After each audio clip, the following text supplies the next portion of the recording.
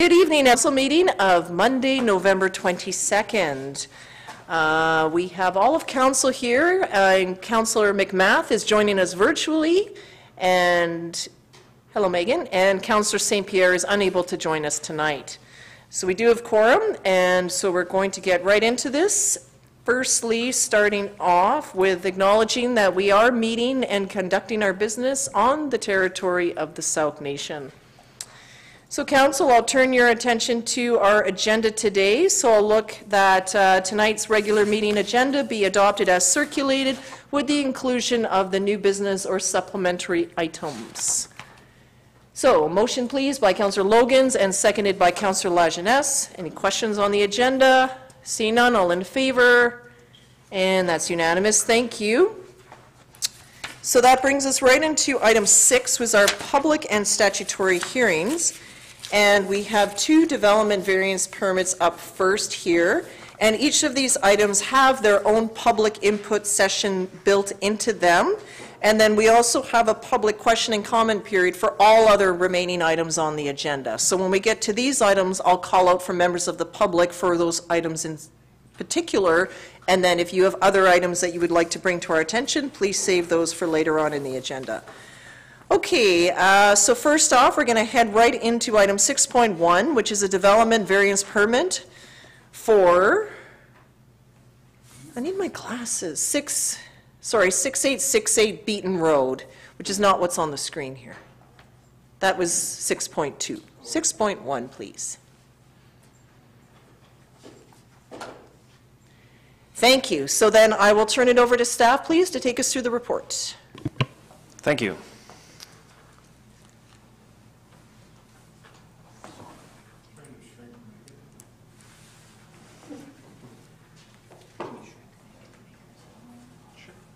There we go.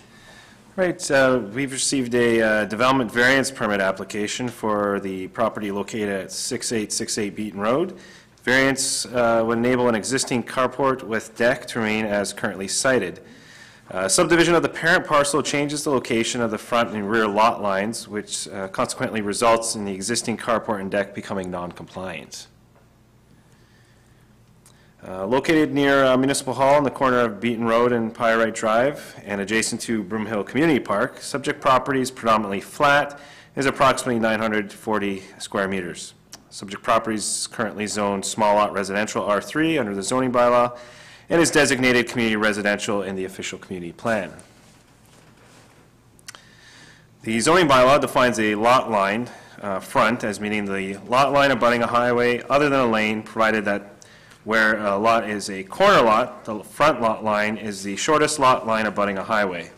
Based on this definition, and because the subject property is a corner lot, the current front line uh, runs along Beaton Road. However, with the proposed subdivision, now shifts the front lot line to now run along Pyrite Drive, which is now shifting uh, the side lot line, flanking lot line, and rear lot line, and the setback requirement for each of these lot lines.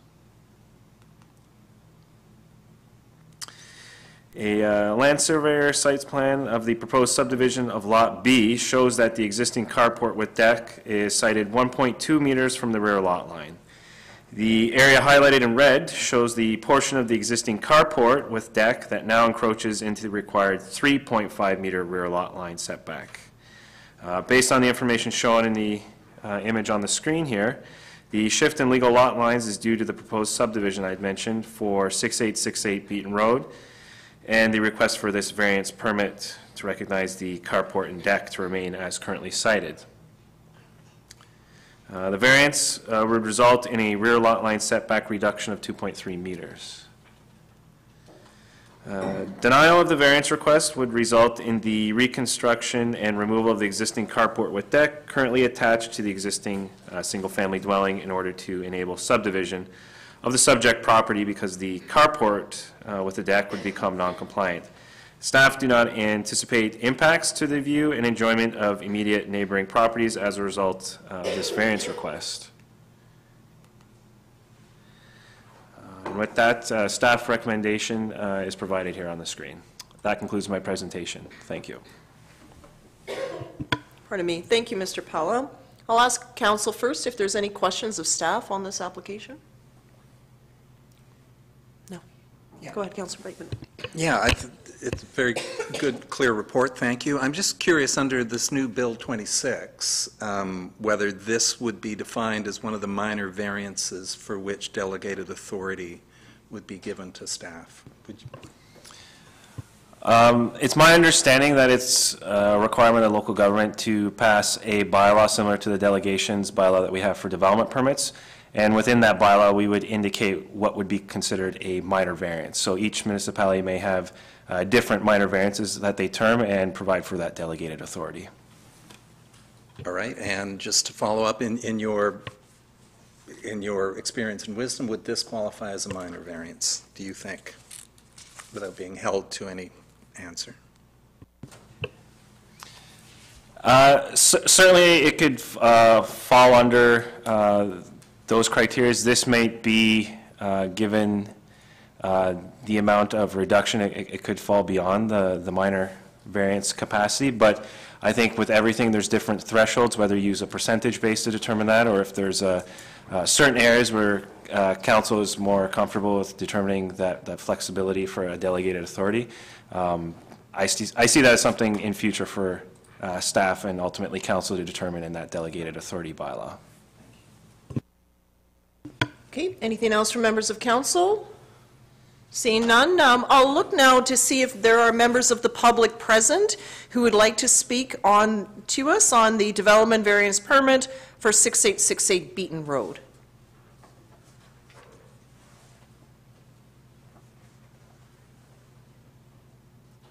Okay, seeing no public coming forward, I'll turn this back to council.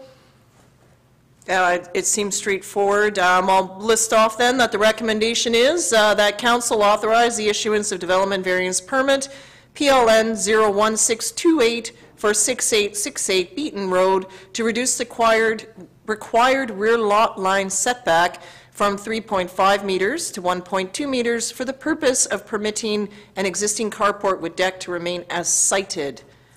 Moved by Counselor Logan, seconded by Counselor Beddows. Anything on the motion? Go ahead, Counselor Logins. Yeah, I, uh, further to what uh, Counselor Bateman was stating, um, in any other circumstance, this might be beyond staff delegation, but I think in this scenario, it's, it's one that needs to come to council because it is an easy one that we can see um, that all parties pretty much were probably in agreement to this in advance of it going, or coming this far, so I'm happy to move it forward.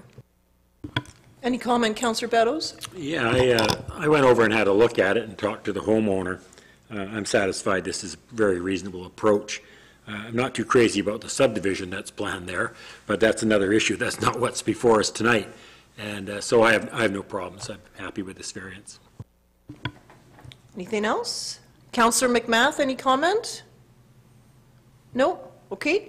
So, no concerns. I'll call the question then. All those in favor? That's unanimous. Thank you very much. Moving on to 6.2 is a development variance permit for 4985 Sooke Hanger Drive. So, same thing, over to staff, please.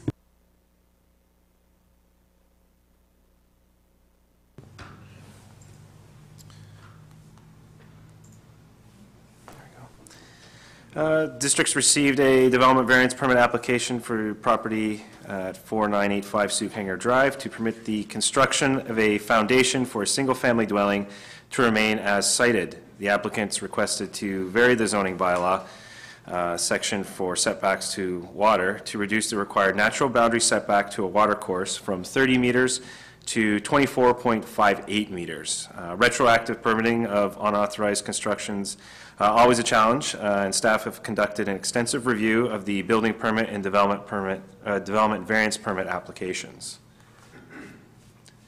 Uh, Located in the Sooke Hanger Stratus subdivision development on the border of uh, Metchosin and the uh, East Sooke electoral area. Subject properties predominantly sloped with a small flat area near Sooke Hanger Drive, uh, which is where the single-family dwelling has been sited, and is approximately uh, 20,000 uh, square meters in size. The subject property is currently zoned uh, rural RU2 in the bylaw, zoning bylaw and designated rural residential in the official community plan.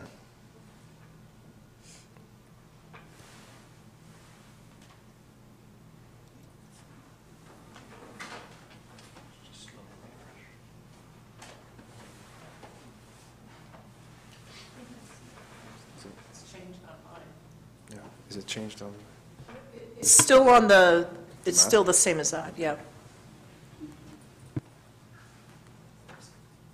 It, it's changed now.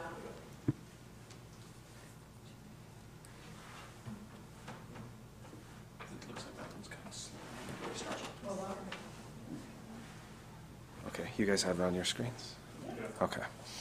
Um, In June of uh, 2021, the applicant's contractor applied for a building permit to construct a new single-family dwelling. The contractor proceeded with building the foundation for the single-family dwelling without the issuance of a building permit. During this time, the building department advised the applicant uh, contractor that a building permit had not been issued and that proceeding with construction was not authorized and would be at the property owner's own risk. As part of the building permit review, uh, the planning department requested that the applicant obtain a surveyor to review the built foundation for the dwelling to ensure that setbacks were compliant with the zoning bylaw.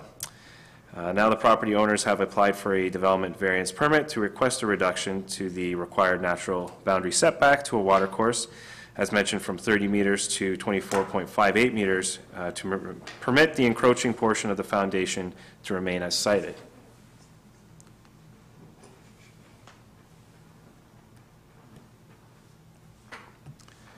Uh, Following provincial regulations, Corvidae uh, identified that the SPEA for the water course that occurs within 30 meters of the property is calculated to be 10 meters. An environmental monitoring program has been identified as a requirement for the applicant to follow throughout the remainder of the development process. The province has accepted the SPEA setback recommendation, and Corvidae, uh, from Corvidae Consulting dated October 6th of this year, uh, under their uh, riparian area protection regulation assessment.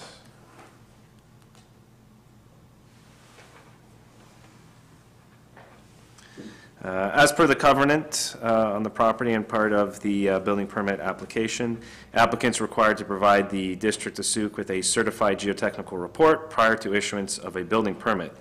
The applicants retained uh, a geotech to complete this requirement, and uh, under Section uh, 6 site setbacks of the report, they strongly recommend that house footprint setback distances be six meters from the south direction and three meters from the north direction from the rock slope. Uh, They've confirmed that the current house footprint marked on the site is meeting this criterion. Siting of the single-family dwelling from the identified rock slope cliff as recommended by the geotech has resulted in a variance request for the required setback to the natural boundary of the watercourse. So what that means is that, based on the geotech's requirements, as stated in the covenant, the house needs to be sited in the location that is currently been constructed, and because of that, that now requires that setback from the watercourse, because it's within that 30-meter setback. Uh, The site survey shows that the foundation for the single-family dwelling is sited being uh, 24.58 meters from the watercourse, and you can see where that portion is uh, on the screen here for the area uh, requiring that variance. Uh, Denial of the variance request would require either partial deconstruction or removal and relocation of the constructed foundation for the dwelling. Uh, Based on where the single-family dwelling has been sited, in accordance with the geotech's recommendations, the location of the house is outside the SPEA setback of 10 meters, supported by the province, and there's no anticipated impacts to adjacent properties uh, to be seen. Uh, Based on that, uh, staff support the recommendation as provided uh, in the council agenda. That concludes my presentation. Thank you. Thank you, Mr. Paolo. So if field any questions, go ahead, Counselor Beddows. Yeah, this- this is the staff. I- I'm a little confused as to um, why a contractor and and an applicant would proceed with building a foundation without a building permit. I- I- Can you shed any light? Well, What was the reasoning for proceeding with the the foundation prior to getting a permit? I assume that they asked for the permit, and they started it while the permit process was going on, or is is that, that's an assumption on my part? If I could get some clarification there, please.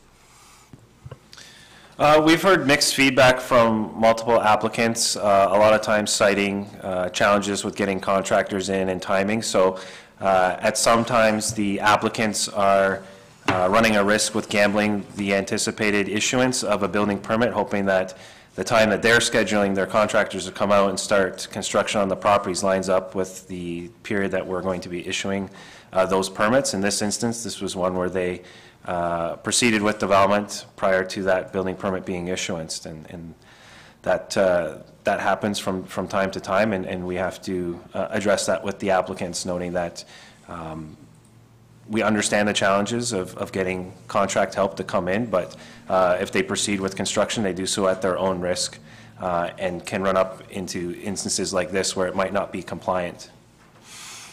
Okay, I, I guess what I'm trying, to I'm not, I'm trying to determine here is if, you know, is it us, I mean, the district, uh, holding up the process and the frustration that people start the projects without getting the proper documentation? Or is it, um, just the fact that these, the contractor is only available in this time? Um, because I, you know, reading the report that because of the archaeological uh, sites, that it may take eight to 12 weeks to process the report. And of course, you need the geotech report. Uh, So I'm just wondering if, you know, all these things that we're asking for are putting some pretty heavy delays. And, uh, you know, setting these situations, this is the second one we've had where the foundation is being put in. And uh, then they say, oops, uh, because of the, the 30 meters, uh, they come to us. I, I don't have a problem with the variance, it's a minor one. I- I'm just wondering if, uh, you know, we're part of the problem or maybe we're not, I don't know. I just, it just seems odd that uh, if I hired a contractor, that the contractors that I've ever dealt with in my time would be loath to start a project without a building permit. It just boggles my mind that they, they go that route. But I guess that's not a question for you. But I just wondered if you could throw some light on that. Yeah, I, you know, I, I think uh, many of the municipalities were experiencing uh, a a lot of development pressures, and, and everybody, you know, wants their permit yesterday, and so. Of course. Um, we, we do what we can to help uh, guide applicants through the, uh, through the permit process. However, there are instances like this, and, and each applicant is unique. I, I, you know, I can't Yeah. be certain what, with this one, why, why they proceeded, but they did. Um, and we work with them to at least bring this forward to council, um, to ha- have an avenue to comply with our bylaws, if, if council approves this tonight. Okay, thank you. Other questions from members of council? Go ahead, Councillor Bateman. So through you to Mr. Powell, um, so it's clear that this, the site, this is the one best site layout on the property, okay? So, so I have no problems at all with this pretty minor um, variance. Would, would this, in fact, in your professional opinion, be one of those minor variances that would not come to council in future? Just curious? I, I think there's criteria around this that we could state, such as with this one, that uh, it's received provincial approval for uh, the riparian regulations. Uh, So i- i- in those circumstances, I would be satisfied that it could meet that criteria if that was to be established through bylaw. Okay. And just one other point, in the draft OCP, I believe there's a section that's asking applicants, before they, they cut into this streamside protection area, to, to explore all other options, right? Reconfigure the site, do whatever is possible. I- Is that correct? The- We we certainly want to minimize the instances uh, where variance requests are required. Um, So th- with the draft OCP, we are seeking to make sure all options could be explored, because there's obviously good reason why those policies are in place to, um, you know, prevent the need for variances, but we recognize each site is unique, and and certain uh, technical reports can justify why a variance is uh, required. In this instance, uh, it was for the purposes through uh, subdivision and then uh, covenant that a geotech report would be required, and through that geotech report, it highlighted that the house needed to be sited in a specific location. That unfortunately resulted in a need for a variance. Okay, thank you. Any other questions? I do. Go ahead, Councillor McMath, thank you.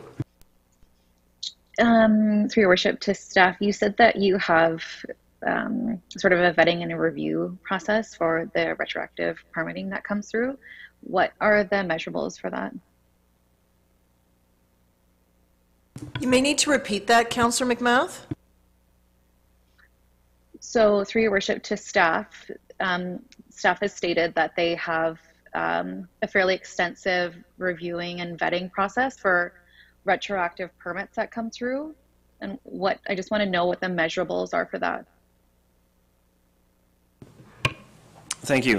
Uh, So what, what we're looking at is to determine, in the instance where staff is putting forward a recommendation for support, in the instance of, of this file, that um, all necessary steps uh, that's required by the applicant to demonstrate that the house needs to be cited in this instance has, have been explored.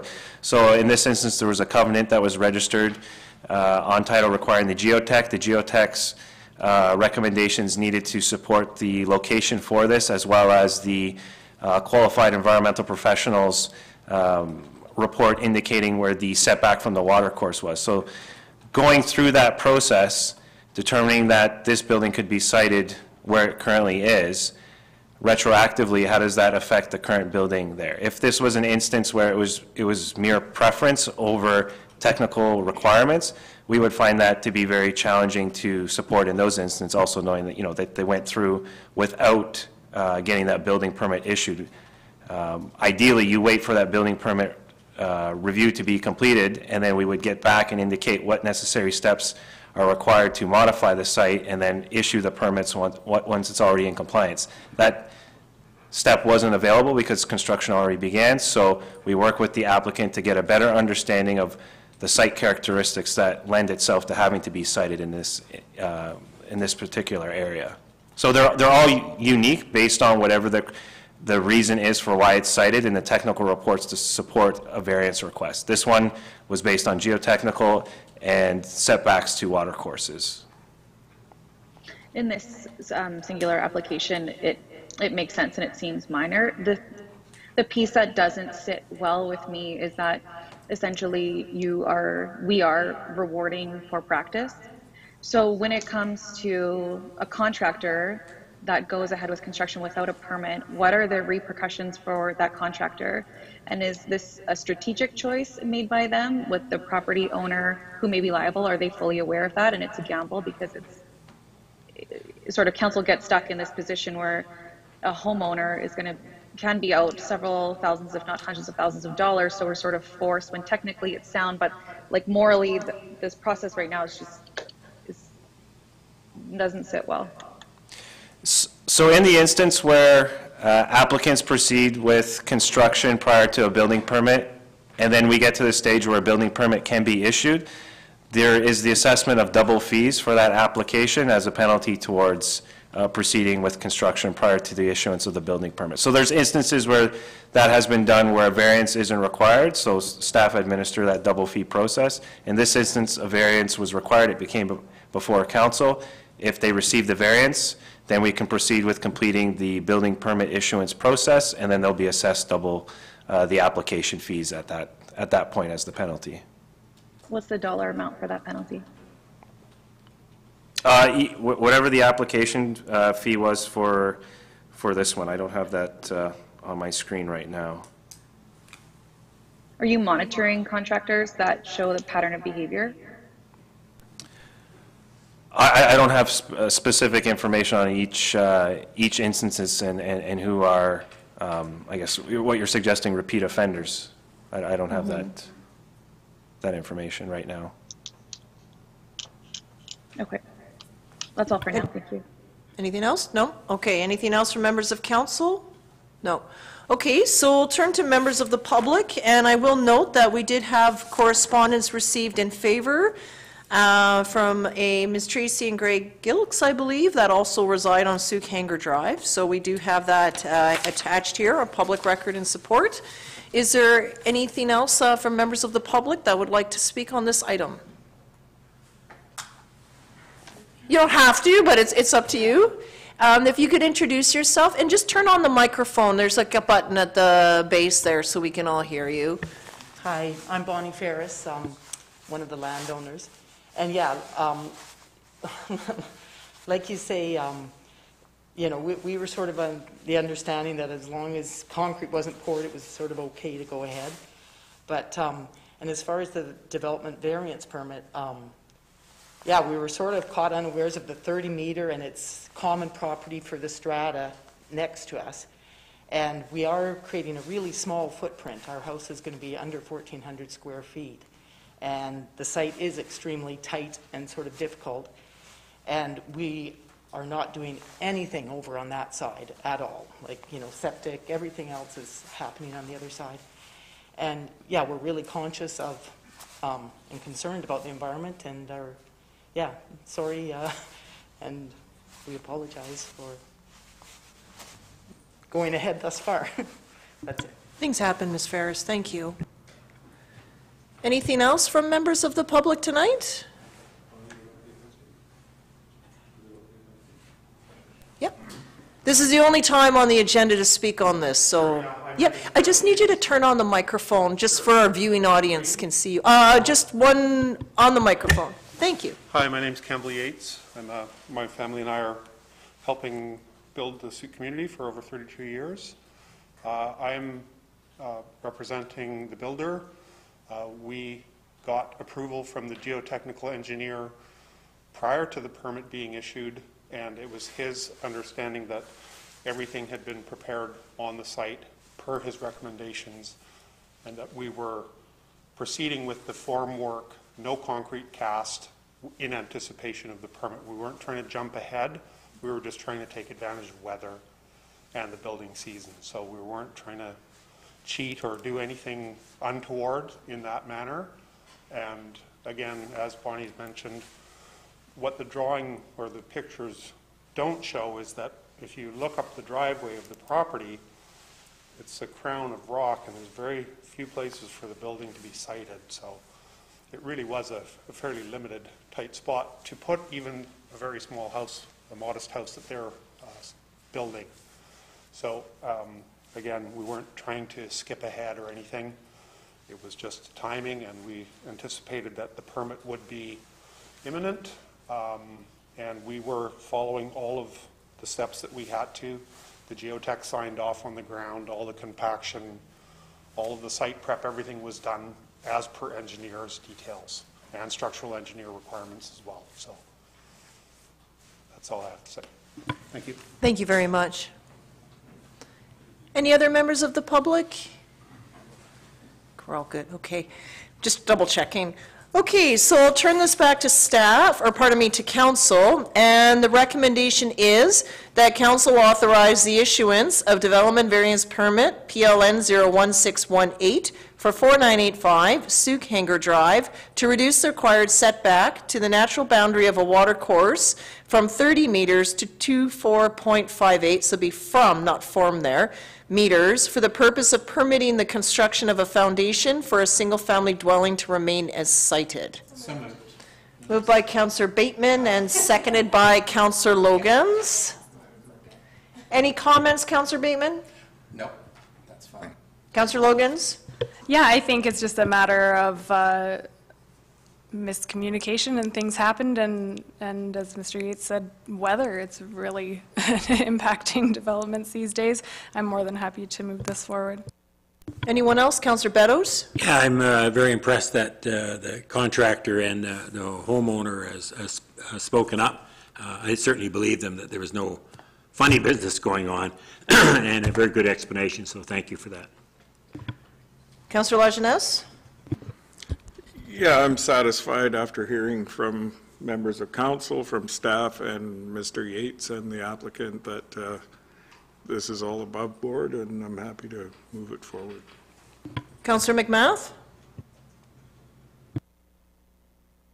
I'll be supporting the motion. I just, um, I, not for this piece in particular, but if there's patterns of behaviors for contractors, I hope that that's something that staff is monitoring in the future. The thing that worries me if someone is building their first home and they're not as like versed in all the pieces and the requirements, I just worry if a contractor takes that risk on their behalf and they don't fully understand the consequences that could go along with that. I just, that's where I have some concern.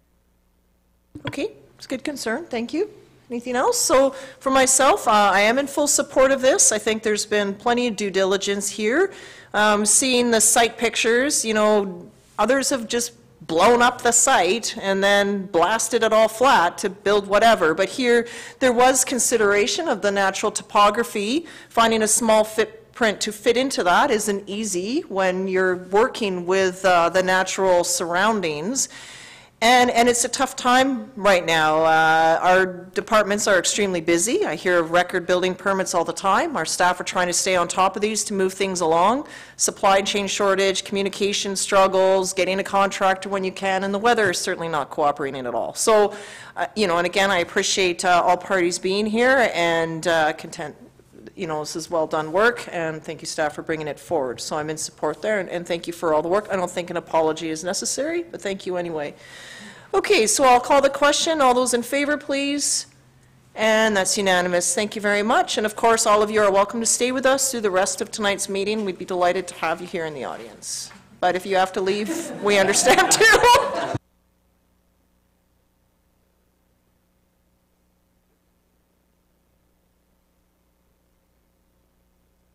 Okay, council, moving on to item seven is our meeting minutes. So our regular council meeting minutes from November the 8th are here for adoption, please. Moved by Councillor Bateman and seconded by Councillor Beddows. Any questions or corrections?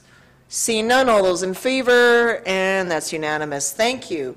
Okay, so delegations tonight. I'm very pleased to see uh, Staff Sergeant Sinden in the crowd, and they're in the audience, I should say, not the crowd.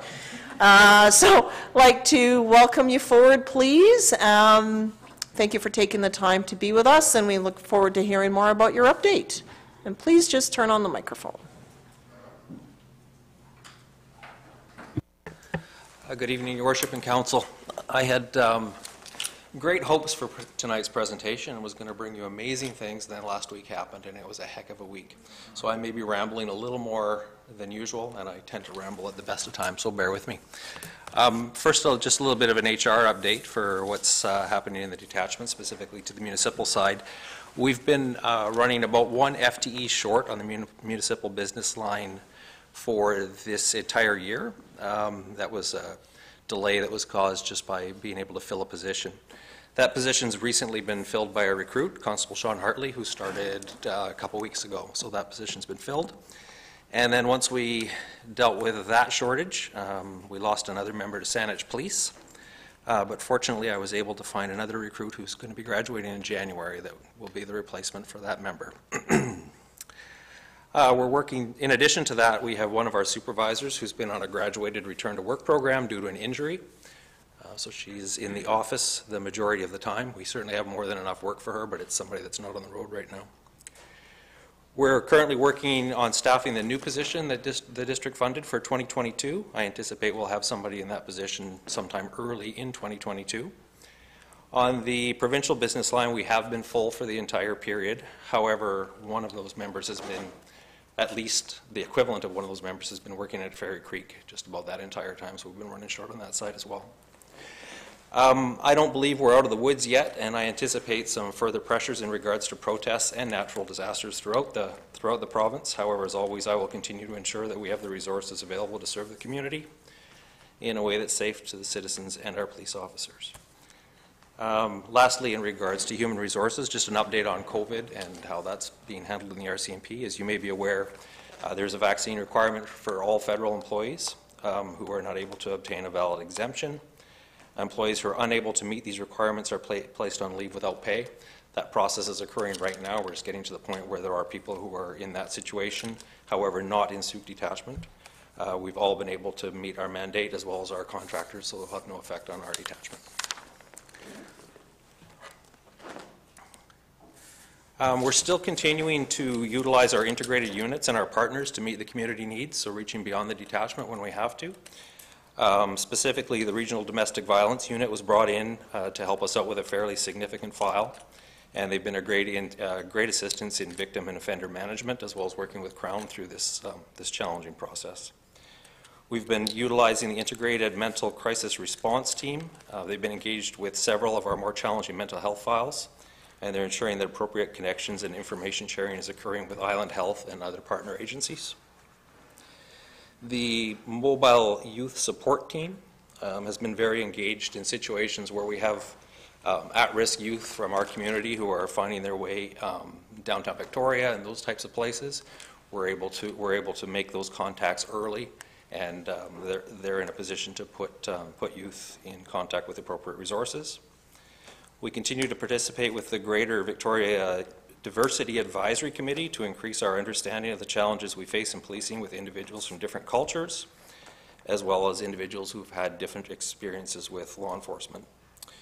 Still actively engaged with Crime Stoppers, and um, in the last reporting period, we did have a fatal motor vehicle accident within the district, which was, uh, has turned into a fairly significant ongoing investigation. We engaged the Island District General Inva- General Investigation Section to assist us with that. And IRSU, um, Integrated Road Safety Unit, continues to include Sooke in their rotation, which, if you follow uh, social media at all, they're quite well known when they actually hit town, and we, we usually know they're here through Facebook than we do through any other. Um, I I apologize, given, uh, given what was going on last week, I didn't get something in the agenda, but I have taken a quick look at the last monthly mayor's report that I believe would have been distributed to all of you.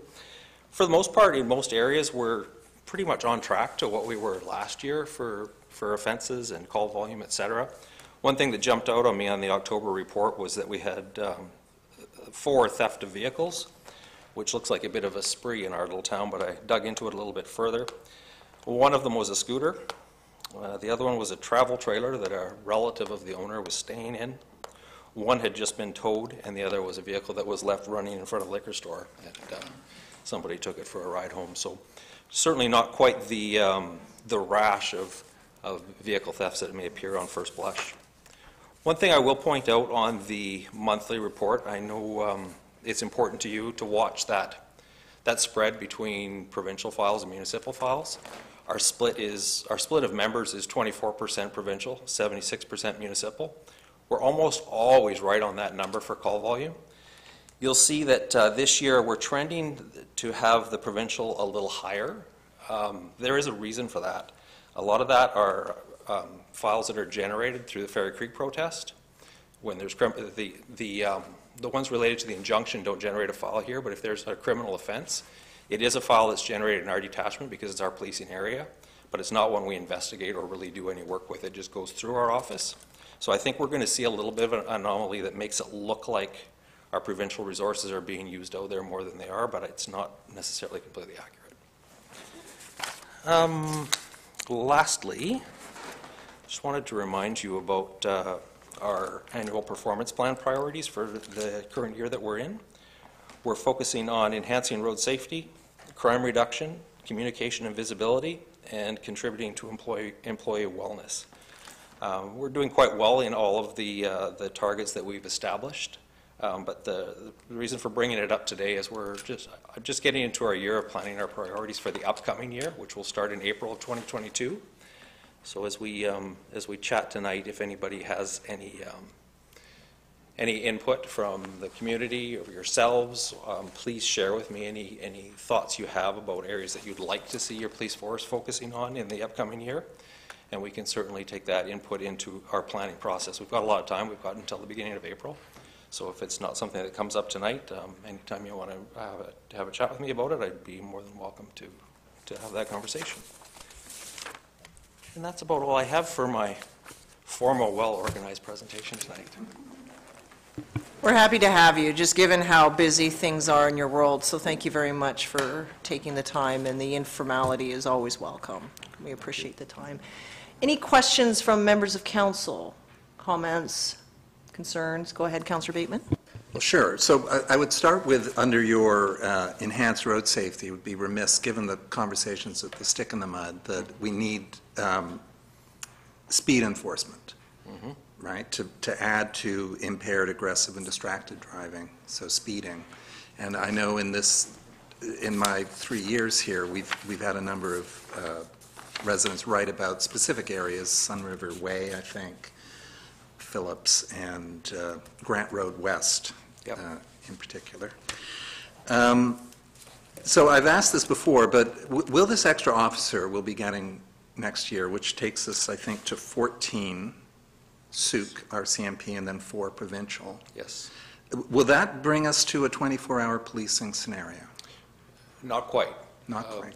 We're, we're, when that body is here, we're two, we're two bodies away from being able to effectively and safely provide 24-hour coverage. So we're getting close, but we're not quite there. Right.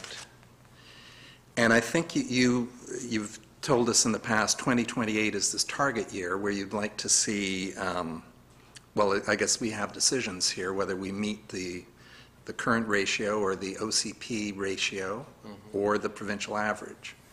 But um, are, are you still looking at that year, and do you have a, do you have a preferred target? The, the reason 2028 came into some of the presentations that I provided is that that's a year we have population projections through the CRD. So that- that's just how we were using those numbers.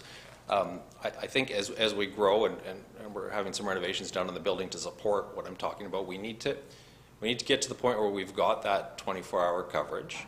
Um, And that will also give us the numbers that when we get there, we'll be in a position that we can assign one person per watch, because there'll be four separate watches, to focus on, one person that focuses on community policing, one person that focuses on traffic, one person that perhaps will be the one that takes some of the more serious files that maybe has to adjust their schedules to stay on days or things like that. So um, as, as we as the community continues to grow, eventually we'll be in a position where we have a traffic section, we have a community policing section, we have a plainclothes section doing that work.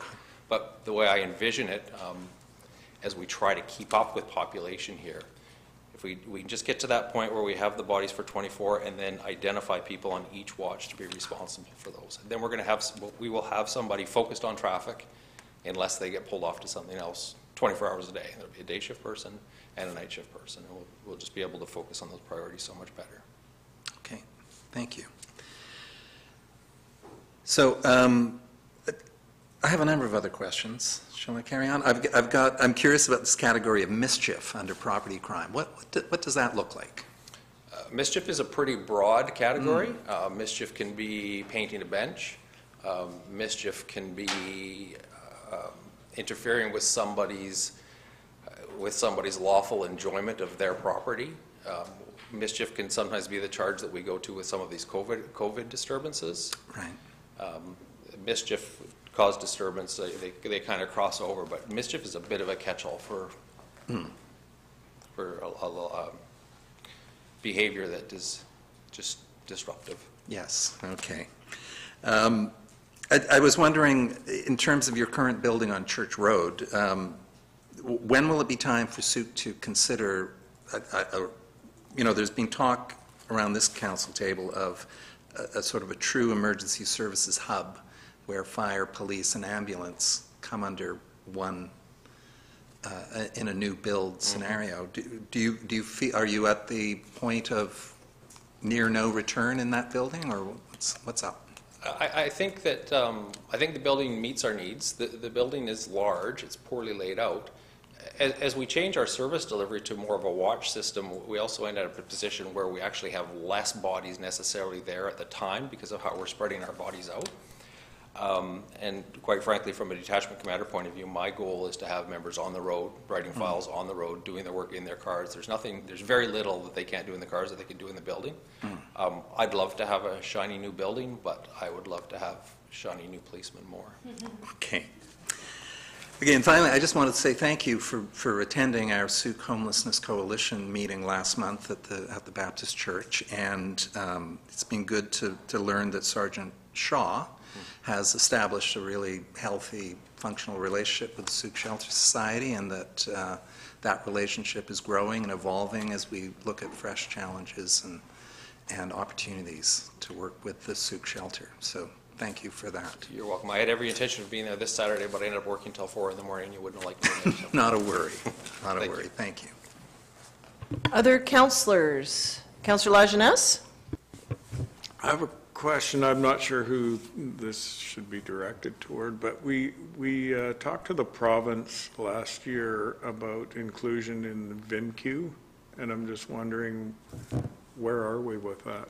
Have we heard anything back, or do we need to reinitiate that conversation? Because just um, watching the news of late, it seems that uh, people are getting a little bit uh, more um, disruptive in, in several areas, and I think that uh, it's something that we need to stay on top of and, and find out how to be included in that.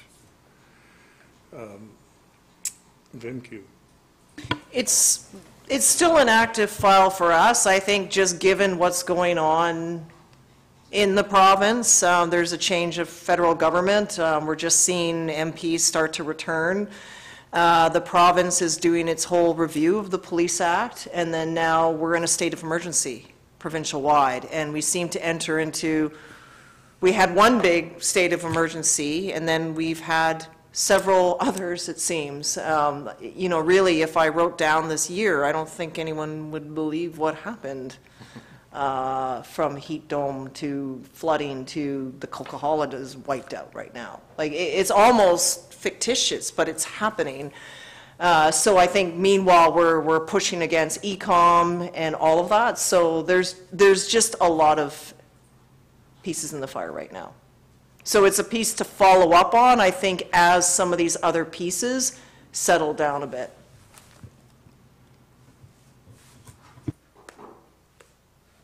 Okay. Counselor McMath? Anything? Nothing, just a thank you for all that you're doing. You're appreciated. Thank you. Thank you. Anything else from members of council? Counselor Bateman covered off some of mine. I guess the couple that I had is with the new members that are joining the attach, the detachment, are they able to find housing? Uh, Both of them were previously situated in the South Island, and they're coming back to where they were. One, uh, one of them has a husband who's a member in West Shore, and the other one was, uh, was already living here before he went to Depot. Okay, so that, that's really good news. Um, The DARE program, there used to be a program at the grade fives, I believe, in the schools where um, it was uh, Corporal Hilderly, I think, took the lead on that for some time, and then COVID, of course, has shut everybody out of the schools. But I'm wondering if you've heard of that program starting up again? So we, we did do one round of it in-house af- after Corporal Hilderly um, wasn't doing it anymore. And uh, we skipped last year because of COVID, but Constable Haldane will be doing one session in one of the schools this year. And then we'll, uh, we'll move forward with what that looks like in the future. Okay, that's good. I think it's just to have that relationship building between the, the RCMP members and our young ones, I think is really positive going forward. Um, Whether they take everything away from what happens there, it's just having that positive interaction with an RCMP officer, I think is very valuable.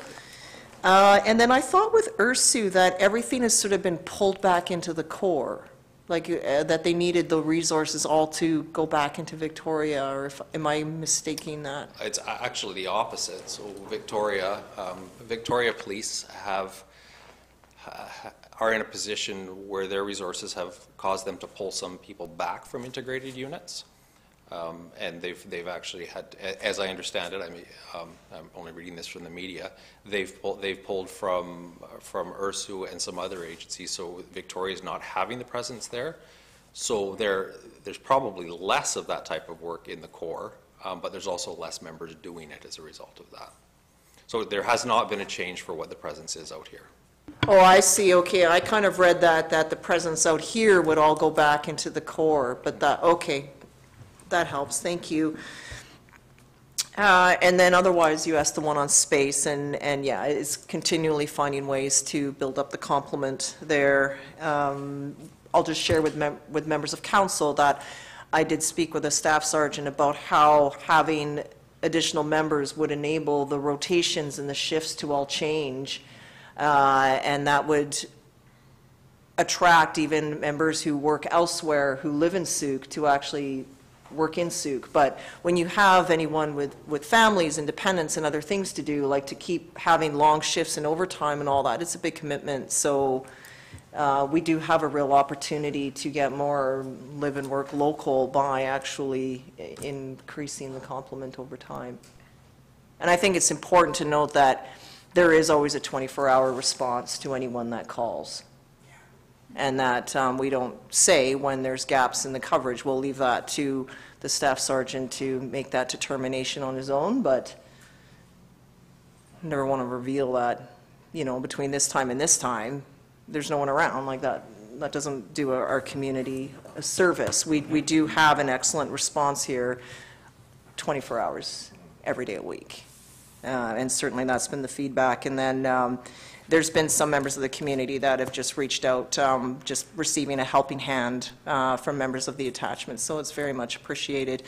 And then going forward, I just worry a bit about the, similar to Councillor Lajeunesse, it's just, it's getting really stressful for a lot of folks out in our community, and, and just tempers are flaring, and, and uh, it- it's just a tough time all around, and then with gas even fueling up and, and all of that, it seems that in Sooke, everyone was very respectful of, mindful of the queues and the like, um, which I think is just the character of our community, but even then, patience can be tested. So I know that puts uh, the crew in dealing with these really tough circumstances, so thank you for the work that you're doing. It must be a hard time. It's just layered with all of these things, one after another. We, we, the community, and me specifically, are very fortunate to have a very dedica- dedicated group in this detachment. The Majority of them were here before I was here, but I've never worked somewhere where, pe- where our members are truly as de- up- uh, committed to the community as this group here. And it's, a lot of that's because a lot of them have been here for a very long time. We're very fortunate that way. Well, that's fantastic. Well, thank you for all the work that you're doing, and please extend our gratitude to everyone else in the detachment as well. And uh, we'll give some thoughts to the priorities that you're setting into the new year, and um, keep that communication and the relationship getting stronger as best as we can. Excellent, thank you very much. Okay, take good care, thank you. Ms. Mushata? Uh, Thank you, Your Worship. Our next delegation unfortunately had to present to two other municipalities. We were hoping they would arrive at 7:30. Can I suggest that council make a motion to receive the delegation at the appropriate time when they arrive? We're expecting that they'll arrive today?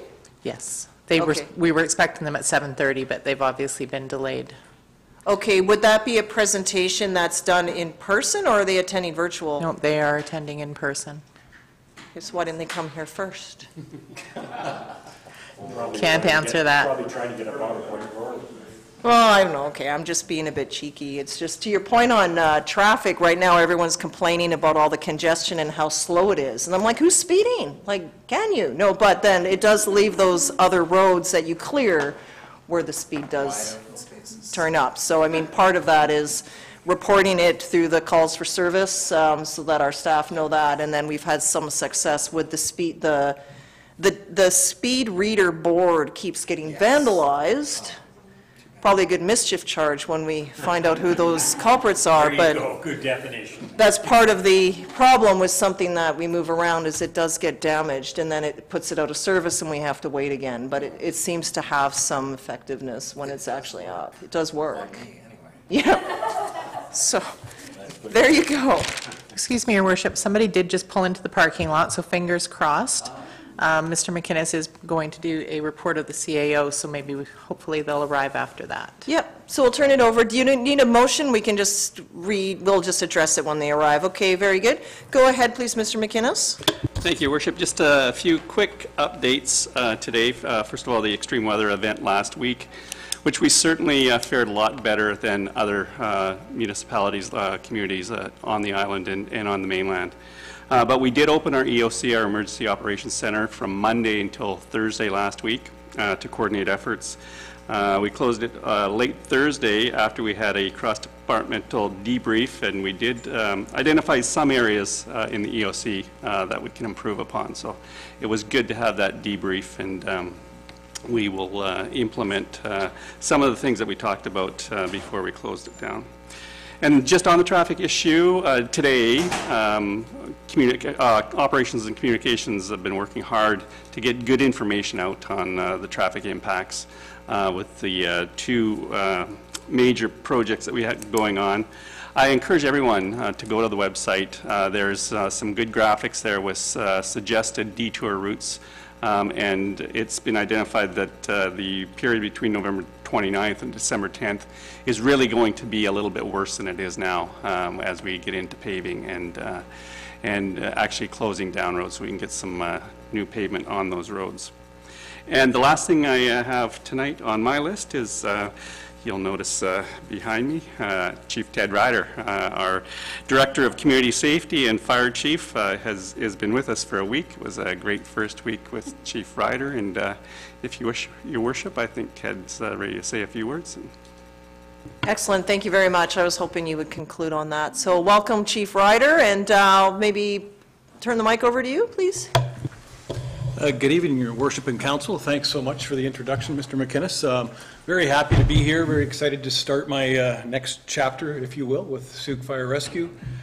Um, As uh, Mr. McInnes said, uh, it was a busy, busy week. I was um, getting familiar with all the staff and meeting new people and doing my orientation and familiarization with the department, and uh, then the floodwaters hit, so to speak. So that was challenging for everybody, and uh, from what I saw, I wasn't really involved too much, but uh, things went rather well. And as uh, Mr. McInnes did say, uh, we identified some things in our debrief that we can focus on and, and get better at. So um, again, uh, looking forward to working with everybody, and uh, thank you so much for making me feel very welcome.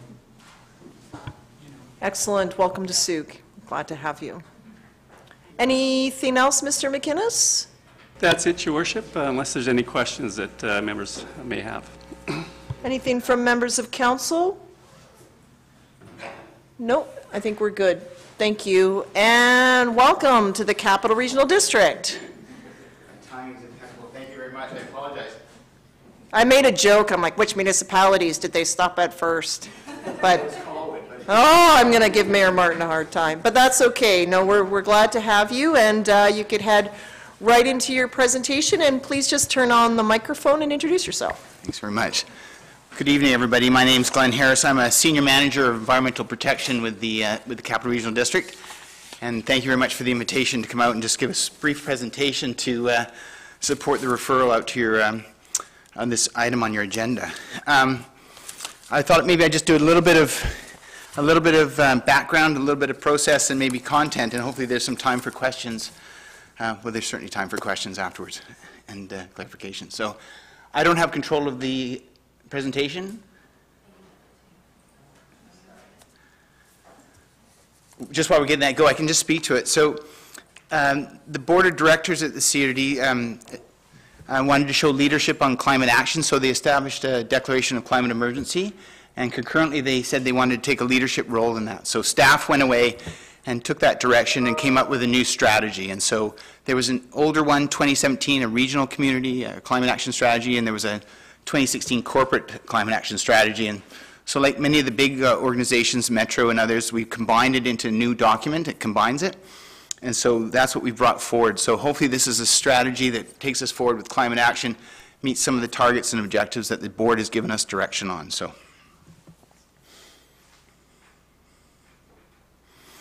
So I'll continue that on process then, just as, carry on. I think I, hopefully I can speak to it, and if you indulge my little um, ad hoc, that'd be fine. Thank you very much. Um, So when we, so the CRD provides services on behalf of local governments. Um, We got a board endorsement on the strategy, and concurrently, they said, okay, to actually implement the strategy, we need to have a lift in the establish- establishment bylaw. So we have a climate action service bylaw that gives us authority to provide that service on behalf of the region. And so it received first, second, and third reading at the October board meeting. Um, So that allows us to be referred out to local governments. So two-thirds of all participants in the service need to approve a requisition or increase in the, in the service. And so that's what this referral is about, for it's for your consideration to allow us to increase the regional service on behalf of uh, local governments. That's great, thanks.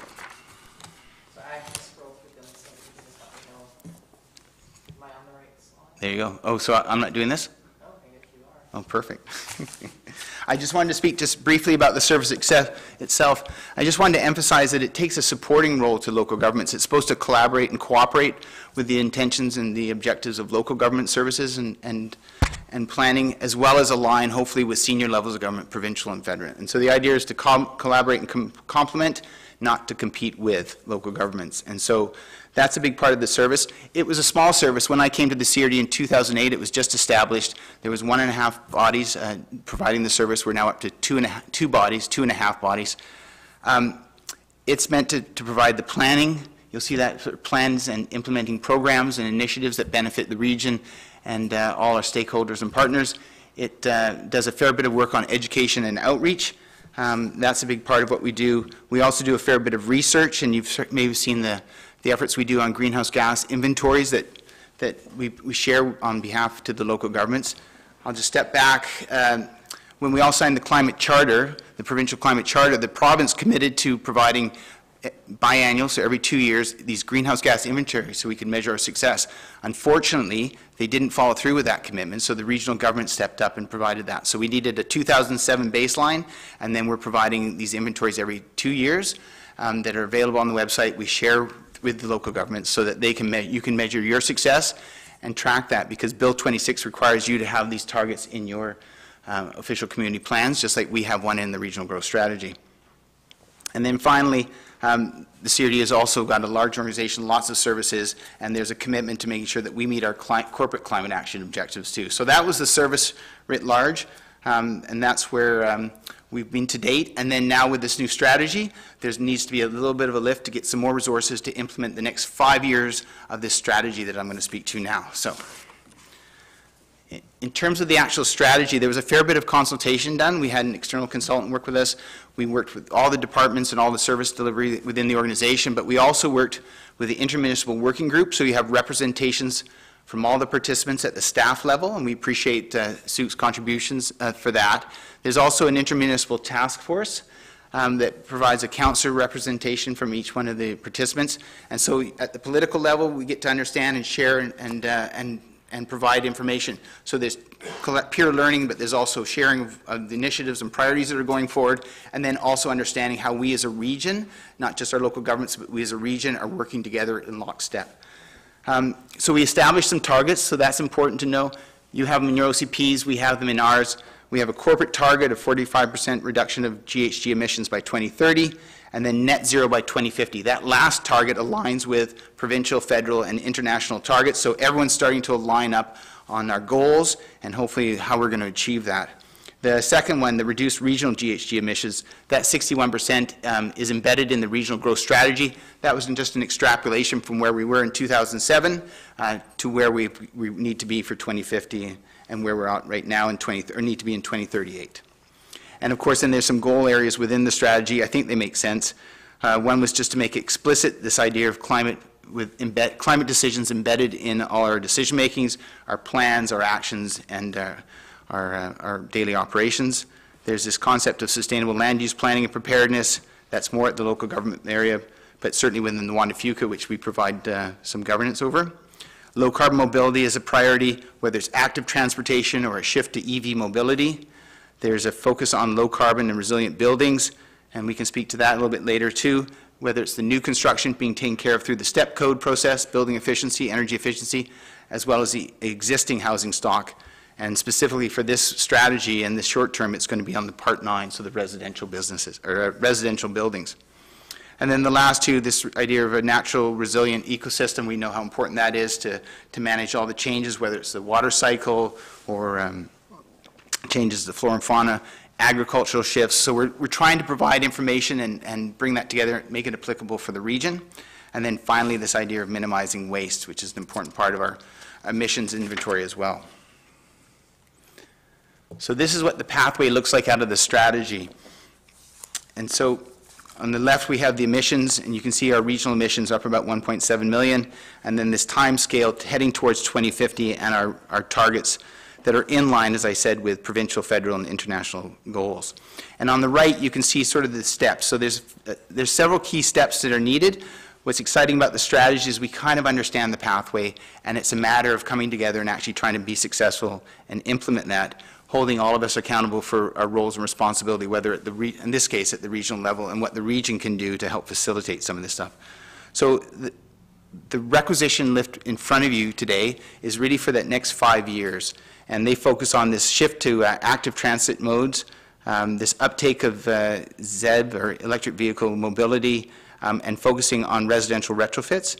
And the other option, uh, the other big thing that continues on is this idea of converting from oil to heat pumps. So um, that seems to be the most logical technology for our region. But this idea of shifting our, our fossil fuel dependence away from oil to natural gas, to electricity and the renewables uh, is part of the process, as well as some of these other steps. this next slide should just sort of be a little bit accommodated to, to Sooke. That's right. I had staff just quickly put this together, just give you a sense of the kind of data that we have and what we're trying to do. So in this case, you can see that there's a fairly low dependency on oil in this community, a fairly high dependency on gas, and of course, electric baseboards. In terms of gas, I mean, that's one of the major heating systems, and there's certainly opportunities to improve efficiency with building envelope improvements via Fortis incentives, um, as well as a change to heat pumps. In terms of baseboard heating, it's one of the most expensive ways to heat a home, and we see lots of opportunity for cost savings, substantial efficiency gains, and increased resilience through heat pump retrofits. And we've been implementing that program or promoting that for some time. The other big thrust of the five-year plan is the, the shift to um, e-mobility and EV. So in Sooke, um, about just under 2% of all vehicles registered in Sooke are electric vehicles. And we think through natural progression, we're going to get up to about 11% without doing too much. But the provinces, or the region has set a goal of 25% of the vehicles on the road, light industrial, light-duty vehicles, so cars, SUVs, uh, minivans of sort. Um, We hope that 25% of the vehicles on the road by 2030 will be electric. And in fact, through the Clean BC program that the province has pushed out, they want to be selling 90% of the vehicles in 2030 to be electric. And so you can see that shift coming at the provincial and federal scales, driving that. To make that happen, we need charging infrastructure in place. Across the region, we know that 40% of the housing stock is not in single-family dwellings where people can install chargers in their own facilities, so we need to be conscious of that. Um, But we also make sure we, we need to understand the infrastructure that needs to be in place to accommodate that 25% goal. We've done the work in the last year and a half through the program, this roadmap project. We think we need about 1,000 chargers, um, about 150 of these fast chargers, and about 770 of the class level 2 chargers. That compares to the 10,000 chargers that the province has identified across the province to put this infrastructure in place. Um, So to make that happen, we need to coordinate that, and we've done a fair bit of work. We've got the plan in place, we know what we need. The next step is to have someone in place to, to write the grants, to get the money that we know is coming from the provincial and federal senior levels of government to, through infrastructure grants, to put in place. Uh, There's contract management, there's a lot of education and um, outreach required to sort of make people comfortable with this progress and this change. And so that's kind of the thrust of where we're going. So that's the basis of why we're, we're pushing and putting an emphasis on this. It aligns with what senior level governments have said are their priorities, and so we're just trying to be, make sure that we're in lockstep to support the region. That roadmap really looked at what's needed through growth and what's happening across the whole region, what needs to be in place for people to feel comfortable, whether you live in Sooke and work in Langford, or live in Langford and work in Sooke. I mean, moving people around is really important, and so we've taken a holistic regional scale view for that. That's one of the advantages uh, priorities of the program, is make sure that we take a regional lens that benefits what you're trying to accomplish in this community and what we need to accomplish across the region. Uh, The last thing I wanted to mention was just this idea of a corporate energy management. That's the third aspect of what the, the requisition lift will accomplish. CRD has a lot of large services, wastewater, drinking water, regional parks, solid waste. We also have a lot of buildings to manage through the housing portfolio and through the health facilities. And so what we're looking at to try and increase the efficiency, the building efficiency or the energy efficiency of those services, hopefully to reduce costs and make us a more efficient organization, but also to meet our corporate targets and our objectives. And then hopefully there's lessons learned that we can share out across the, uh, the region with other local governments. So that's our intention um, with that position as well. We know we need, need to meet those commitments. This was an overview. Um, If it wasn't explicit in the, in the referral or in the presentation or in the, uh, the actual strategy document, uh, this, because it came up at the call Colwitz conversation, so we're trying to be as efficient as possible. So the first two thing, two, two main components, that residential retrofit program and the EV uh, coordination, we're asking for a 0.5 FTE for, for each of those two positions. So one person is going to coordinate those two positions, or those two major projects over the next five years. So hopefully a fairly efficient work, but um, We think that's doable. There's a lot of dollars there for outreach and education and program support. Um, We know that that's a real barrier for people understanding that. For those who know and are are leading the the conversation around climate change, we kind of understand where we need to go, but there's a lot of people that need to be brought along. And so the research that we've done, the business plan that we've done to support this indicates there needs to be a fair bit of work behind that. Um, I was just going to say, from the residential retrofit, the- emphasis there is on a concierge service. So there's energy managers out there in the community, different local governments have those or promoting those. A resident will get hold of that, needs to understand how to interpret that and how to move forward with all the incentives and programs and grants that are coming that way. And the intention of this position is to offer uh, residents um, concierge service, hold their hands to move them through that process so the uptake and the, and the, and being able to do the right thing is easier on their behalf. And so that's the intent. So when you see large dollars associated, a lot of that's for program delivery, and so that's the intention of it. And then the corporate energy manager, that's the, that's the cost, the labor costs, and then some program dollars, whether it's the studies, initiatives that we need to do to follow through. And so this is the question, and so you can see that this, the existing service was fairly small, $480,000. This is um, a requisition lift to a maximum amount. This is where we think we'll get to within the five years um, to support all the initiatives going forward. I know the boards endorse this unanimously, they're supportive behind it, but it does come out for referral to, for your consideration, and I'd be happy to answer any questions you might have from this. So thanks very much.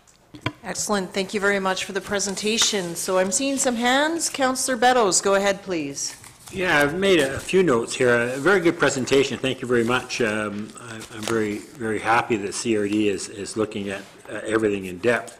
Um, I did notice you mentioned that, oh, sorry, through your worship, uh, to our guest, um, that you're not in competition with each one, and yet you're talking about CRD grants for charging uh, level twos, and we're sort of looking at that too. W- w- So where would be, who best to put a grant in? Would it be the CRD or would it be the municipality here?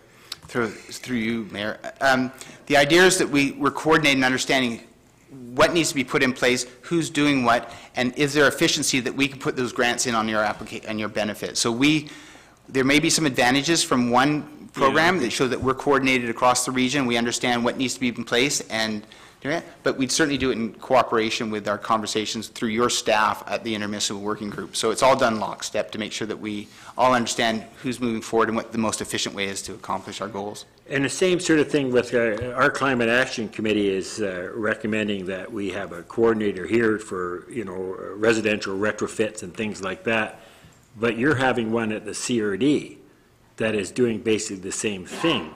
Again, is that another one that we need to be talking to make sure that we're not duplicating our services, that we're getting, getting the, I mean, we're going to the public, same public pays those bills as pays the bills here, but it, um, you know, if you're going ahead with this much money, which is uh, a lot compared to, to what our budgets are, I'm sort of hoping that we can, uh, you know, get some cost savings for us by utilizing the CRD service for some of these things. So that, that, uh, there will be an advisor there to, you say a concierge, to, to help people navigate if they're going to get a heat pump. This is where you get your grants from, this is what you look for. Um, I assume that, that's what you meant by that, is that correct? Through Mary, that's exactly it. So the modeling suggests that we need about 3 to 5 up- percent of uptake of the existing residential stock to meet our target. We think there's going to be incredible demand for that, and so we've come out and we're targeting with this body to sort of tackle about 1%. We think there's going to be a lot of need for this, and we may come back in two, three years and say, yes, we're being successful, and yes, we can't keep up with public demand, and so there needs to be a lift in reserve. Yeah, fair- We're we're going to fair coordinate enough. that Yeah, through, yeah, through yeah. local governments and that. It's, this is getting the program started because we know that's where we need to go. It's probably why your, your, your your organization is already thinking about that as well, because you you see the writing on the wall, and there is Well, conversations around that. Everybody is, everybody Absolutely. wants to get on the climate action, and uh, my main concern, and I brought it up before, is that I don't want to see duplication of services. I want to see us work together and get the best possible service for, for the dollars expended. And whether they're CRD dollars or District of Sooke dollars, it still comes from the same taxpayer, you know. That's right. And so uh, the grant application, that we've done this in the past through this program, several other programs, where there's an efficiency that we do the grant on your behalf, and we identify the charges that your community needs, Colwood needs, Metchosin needs, Okay. city needs, and we put in one coordinated package, and it- it's a much more, it's a cleaner, more efficient way to apply for those funds. Okay, all right, thank you, thank you for answering those questions. Okay, other questions? Go ahead, Counselor Logins. Yeah, uh, thanks for coming here and presenting to us tonight. It's a busy night for you. Um, A lot of this is pretty fluffy to me, and I don't put any blame on the CRD for that. I think that the province targets are bull. And I don't see anyone being a leader who matches the targets. So that's sort of where I come at you with the fluffy comment. Um, My, one question I have is regarding uh, mobility. Goal three, you have a lot of mobility issues listed, or um, actions listed. And I would like to know which ones you think will benefit Sooke the most. Obviously, we're just getting a blip, quick overview of these, so, um, so they're, I mean, you could ask questions for hours about each one. But, um, but where do you see uh, these actions most benefiting Sooke, especially in relation to getting cars off the road? Because mainly what I'm seeing here is more vehicles on the road, but just hoping people have the funding, like the, the money to buy an electric vehicle. And, um, and hoping that electric vehicles will suit the needs of people who require uh, vehicles for transportation. Like, when is an affordable seven-seater minivan coming out um, to get our kids to and from lacrosse practice? I would love to see this entire thing run past um, a group, group is the wrong word, past many young people to see what they would have to say about it, um, because I think they would tear it apart and ask for a lot more. So through you, Chair and Mayor, um, I think there's various levels that is being tackled. So part of the, um, this idea of mobility is also about active transportation. And so as you build your complete community and you sort of build up your community, you're looking at for alternatives, more walking, biking, transit. So those are conversations a little bit outside of my service area, but they are happening at the board table as advocating to the province in terms of planning around trans- transit uh, mobility as well. Um, What we're trying to do is say, we're trying to get off, re- reduce greenhouse gas emissions. We know that mobility is about 40% of the emissions in the region, and so providing, um, we know that the province is also moving, and the feds are moving towards promoting electric vehicle mobility. So as those options come on the road, and so that seven-seater electric vehicle comes on the road, and families want to purchase it, we need to have the infrastructure in place so that they can make that confident, that choice with confidence. And so that's really the strategy behind that. Um, People are going to choose to work and live, and that's a a bigger concept than that. So working from home or, or, you know, that's going to be a bigger thing for that younger generation to think about as they make their choices about lifestyle and that. But for those that need a vehicle move, we want to make sure that the infrastructure is in place so they can make the choice if they want to, to move to an electric vehicle choice option. Right, and that's fair, and that is necessary, and that's where I see this being so basic, because we need to go beyond that. How are we supporting families who won't be able to upgrade their vehicle to a brand-new electric car? And, and yes, there is active transportation, but that doesn't get your parent from Sooke to the base in Esquimalt every day, and that's the hugest area of traffic that we need to tackle. So, and that goes through multiple regions in the CRD. So how are we working together to make sure that all of the traffic that comes from Sooke and collects through all those communities along the way to get to the base and up to Sa- uh, Sidney Saanich area? How do, how are we getting, how are we fixing that problem? And I don't see that here. I'll answer that. Um, You may recall that um, the CRD did look to establish a transportation service because we're 13 municipalities and three electoral areas, and are we all talking to each other all the time? And uh, so it seemed that, okay, like, we need to come together here so we can put some regional cohesion, cooperation together on this. And uh, it got turned down by the councils who want more autonomy. So we have the Transportation Committee that's back up and running.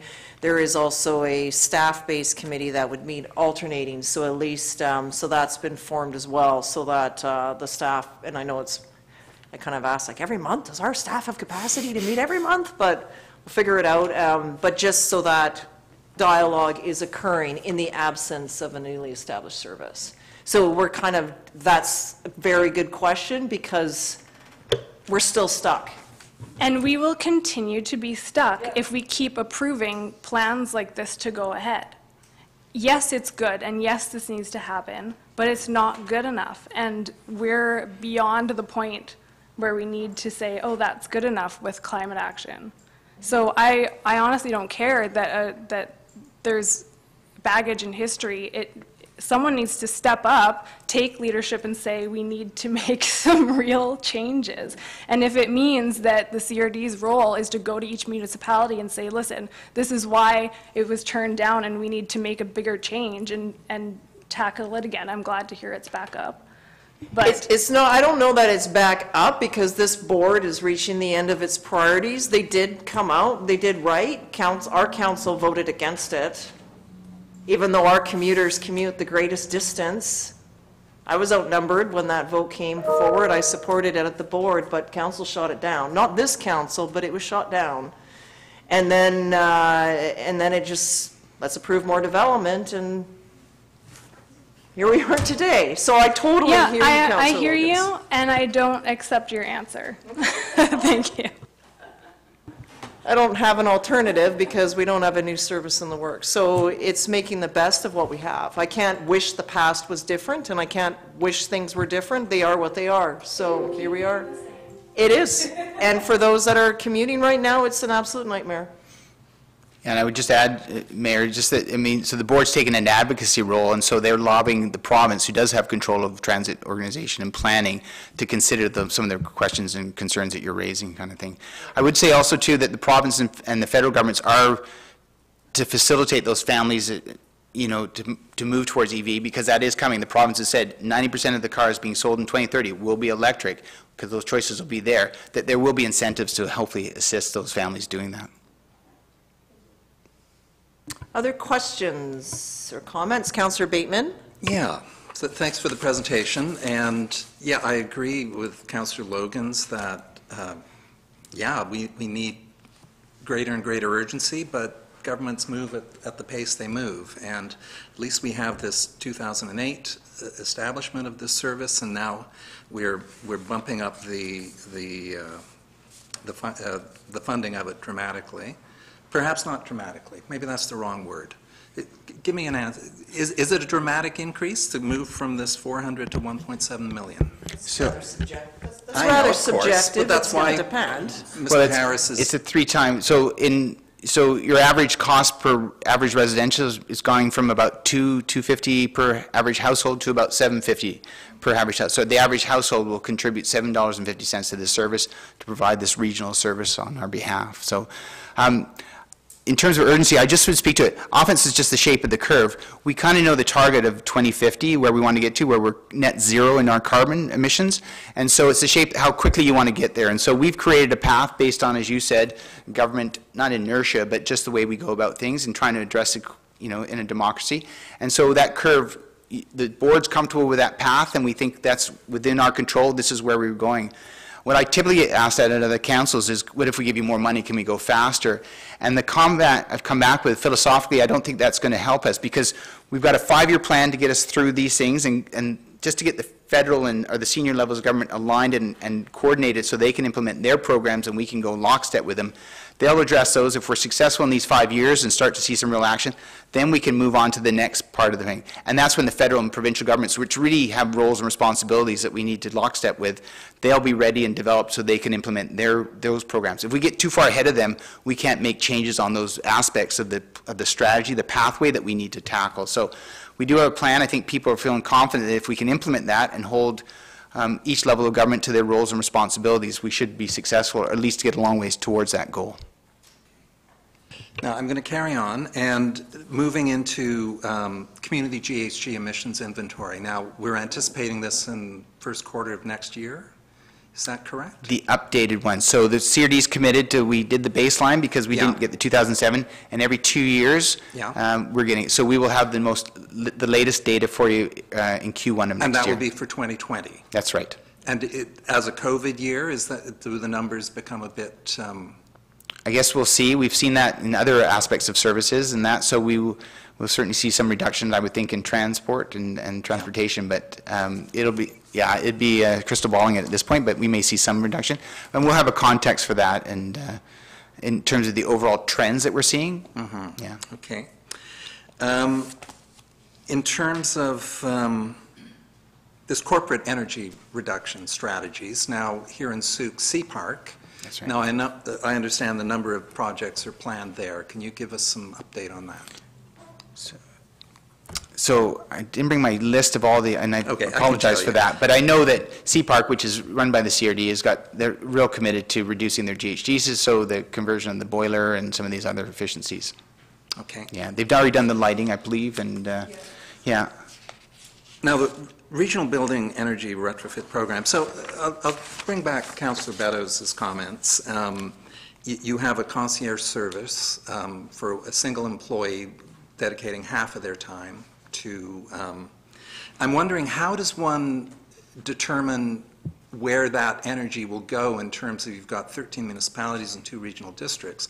What can Sooke expect in terms of its share of uh, of attention from that concierge? Yeah, fair enough. So that concierge service is actually going to be delegated down to a nonprofit to deliver that. So you can't imagine that one person can't reach, you know, 100,000 phys- households in the region, and we're looking to tackle and change 1% of that. There's just too many. So we're going to have, we're going to partner with uh, City Green or some other nonprofit to actually deliver the program and have s- multiple um, uh, champions to actually help citizens and residents uh, make that conversion. And so the intention, it will completely be equitable, and the numbers will be tracked, so we understand which communities and which citizens are taking advantage of that. Right. And you are already tracking to a degree through the Bring It Home for Climate program. Uh, How many people out in Sooke are taking advantage of that at the moment? I Do you know? apologize, and I can bring those numbers back to make sure that uh, you have that information in front of you. Okay. Because I do know in your, in your report, you've noted uh, 400 homes in the region, 400 homeowners um, have taken up with very little marketing in the last year. And Why was there very little marketing of that program? Through through you, Chair. Um, So it was a small pilot project. The intention was just to be a pilot project. It was, it was matched up with the Transition 2050 initiative at the federal level. They wanted to see if this kind of model would work. They've done the work and said, yeah, that's, that's the business case in support of why we're going to move forward with this concierge service, because it does work, helping householders on an individual basis. That really seems to be the model that's going to work. They've done the research and globally, and we see that's the best model for having the uptake of that objective, which is to get homeowners of existing building stock to retrofit their buildings for energy efficiency. Mm-hmm. Do you anticipate the PACE programming making a significant difference in terms of getting to your 3% annual target? So that's a conversation around financing that we'll see if that's, you know, I like the model, we'll see whether or not senior levels of government take that up. And that's a big part of the conversation next about the financing. And we've backed off on any recommendations because CMHC, FCM, uh, Environment Canada are all looking at different models of financing. Even the province is looking at that. So until we get some clarity, we're just waiting, wait and see. But we can move forward with this pro- part of the program, knowing that the PACE program or some kind of financing model that helps homeowners do those retrofits and realize those benefits um, is coming pretty quickly. Okay, Thank you. I'm, I'm happy to, to, to let you know that the District of Sooke has recently, just as of last week, brought in a climate action coordinator intern who will be with us through August, and then our budget proposal we'll be looking at tomorrow night does include funding to uh, continue that position. Do do you see, what, what advantages do you see to having a municipal climate action coordinator working with, with your, your team? And, yeah, tell me more about that. Absolutely. So through you, Chair, um, again, we're meant to complement and cooperate and and collaborate um, the work you're doing. So we take, for example, just in the, in the area of, of the research, so we've taken global model predictions of climate change, downscaled them with work we've done with UVic and other academic institutions to make it regionally relevant. So the idea is then we share that with the local government, who can then take that and implement that into the services and operations that you participate in at the local government. So it's all about trying to complement and give you information.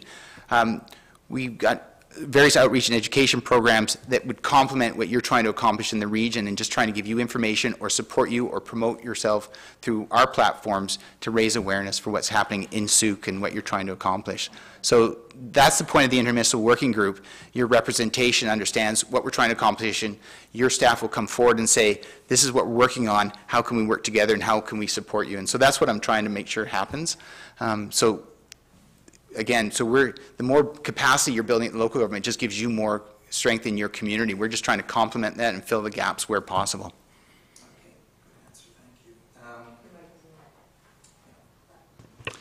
And I, I think that's about it for now. Thank you for your work. Um, Yeah, and, and then, okay, let's go back to that um, retrofit program. So I see you were targeting oil-heated homes constructed before 1940 and pre-1990 gas-heated homes.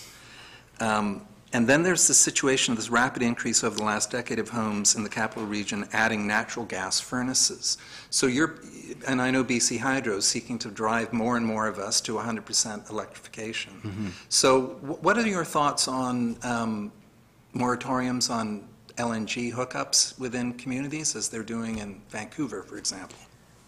So we understand the conversation, what my role as a staff would be to bring that up through, uh, through executive to the board and to the Environmental Services Committee, for them to consider their position and if they want to advocate a certain position on behalf of the organization. So staff would certainly be part of that conversation, we'd be sharing the pros and cons of what's going on, and inform our politicians, our board, about a position they may or may not want to take. You don't have a position at this point on, Well, what we're hoping to see is a shift from, uh, of different energy sources. So, so a shift from oil to natural gas is better, and a shift from natural gas to renewable energy, electricity would be even better. And so it's about where we can see the best plans. And so when you refer to the uh, different housing types, those are called archetypes. And so the business case identified which parts of the residential sector were most likely we're going to see some success if we target those areas for energy efficiency upgrades. And so BC Hydro, Fortis, the province and the federal government will target the incentives for those areas. And so we're just going to facilitate that conversation, and our outreach will be focused on those areas. And then just one final question, it's in the, the actual details. Your microphone. Yeah. The actual details of the amendment, there, there were the two funding models, right? So there's the up to 1.74 million mm-hmm. per year, and then there is a per capita, or, of, it's like 000.94, some number such as that. Would opting for that option deliver significantly more funding, or no? So the 1.74 million is the cap, and that what you've described as the household, that's the increase per household. So how we evaluate the requisition is on a, on a roll. So we look at the, it'll depend on the, the number of rolls and that, and so that's the uh, application of the requisition onto their levy. Yeah. Okay, thank you, Counselor Bateman. Other questions from members of council? Counselor McMath, anything from you? I guess, please. Um, I just have one question. When Sooke joins large, we'll call them group projects, um, typically they're, they're left to the end. So priorities are given to the larger, older, more populous municipalities. So how are you guys sharing your resources and your support between municipalities? So through you, Mayor, um, the intention is to be as equitable as possible, and so there's no target areas. We look at regional services that that would benefit everyone, and it's not discriminatory in terms of different uh, regions or local governments. And so um, the numbers are there. So if, if we're tracking the number of households taking up the benefit, we will be evaluating that on a yearly basis to make sure it seems equitable and course correct if there's any reason for why one community versus another is not seeing some benefit. So my sense is, I mean, one of the objectives or one of the, the yeah, one of the objectives is to make sure that it's an equitable service, and we're a regional service, and we need to support and show support to all the, all the participants. Are you going on a first come, first served basis? How are you triaging the requests that you get from communities and how are you prioritizing them?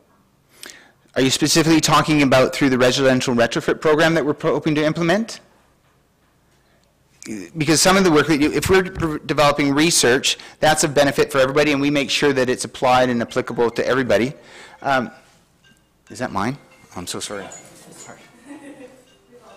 Sorry, I thought I'd turned it off.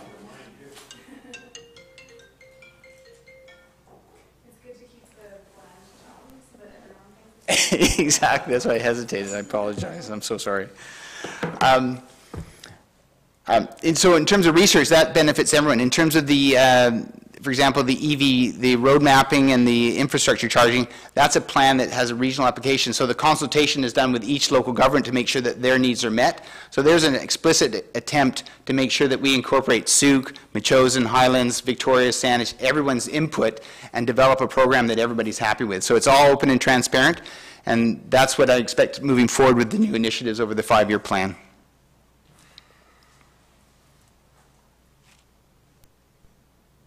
Anything else, Counselor McMath? Are you complete, Counselor McMath? She's, she's done. She's muted. I think so. Okay. Anything else from members of council? Um, So this will come up uh, later on in our agenda tonight. So thank you, Mr. Harris, for joining us tonight and for making your travels out and for doing the presentation and answering all the questions. One takeaway that I'm going to leave with you is many CRD employees have reached out to me, um, strong desire to work from home, given the flooding, the impact on gas, impact of just the congestion. We're doing a lot of road work here. It's going to get heavy in the next little bit when we hit paving, and the highway work is still ongoing, and their work-from-home requests are being denied. So managers seemingly have a lot of flexibility, the employees don't, and they're suffering. They're having a really rough time right now. So I'm using every opportunity I can to hit up the employers in the core that I know that are making their employees punch in physically to work, know that you need to cut them a break right now. It's a rough time. I'll take that message back for sure. I can assure you that there's no preferential treatment between exempt and unionized staff, and we're all required to be in there, and especially for the delivery of the services. But I'll certainly take that message back, something that we're cognizant, and I know the, the, the board and the executive are thinking about where they're going to have that conversation as we move forward. I have parents in tears, like it's, it's a struggle right now. And they're getting up early, they're running on fumes, they're doing everything they can. They've, they find, they told me all about the farms, like I know a lot about what happens there now, and it's rough. So just, I'm going to be doing everything I can, every microphone I have, that less car off the road, and the employees have proven they can work. It helps ease it all up. It's z- net zero because they're working from home. So that's my takeaway. Well, when you're working from home, you're not, ex- depending on your house, you're not having to drive. One less car on the road. Yeah. I took the EV vehicle out tonight, but next time I'll look forward to a virtual presence here. There you go. We have the technology, as you can see. So thank you so much. Safe travels back.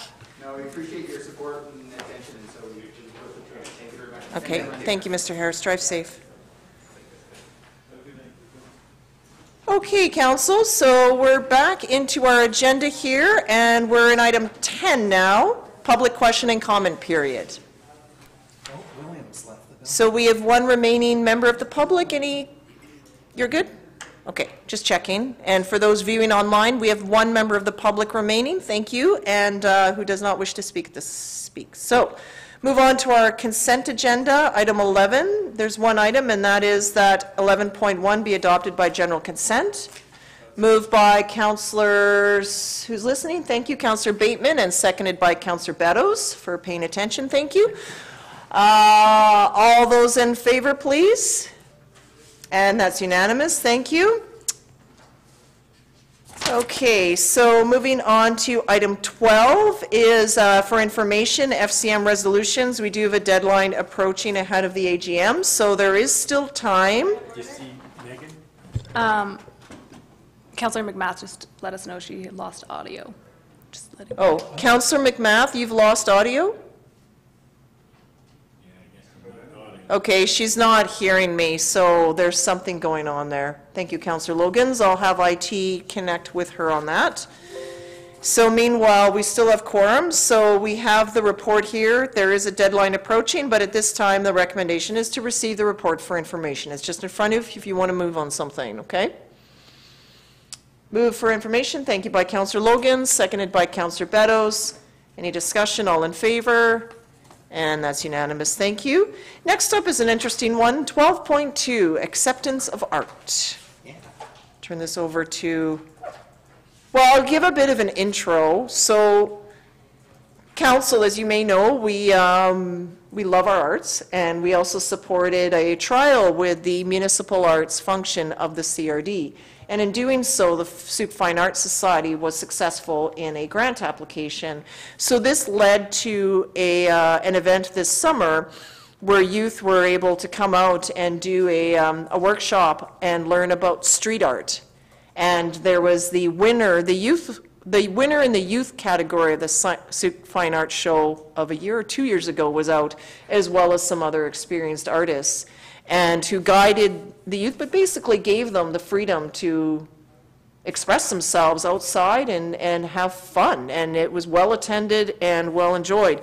So at the end of the day, there were a few pieces that were left over, and I thought one of them was pretty cool. And I thought, hey, that might be kind of neat to have in our council chambers. So me and my, I'm like, okay, without knowing, like, yeah, let's get the art, let's hang it up, let's do this. And then we have a policy. So now I'm going to turn it over to our corporate officer. Nothing is easy. Sorry to interrupt. Could we have a pee break real quick, just so that um, Councilor McMath can join in on this one, potentially? Can I call it a health break? Five-minute health break? Can I call it Oh, a did I health call it a break? pee break? You can do whatever you want in the health break, keep it to yourself. So we are going to take a five-minute health break, and I'll see you back at 8:46. We'll get the IT sorted then. And then it'll start off with report from our corporate officer.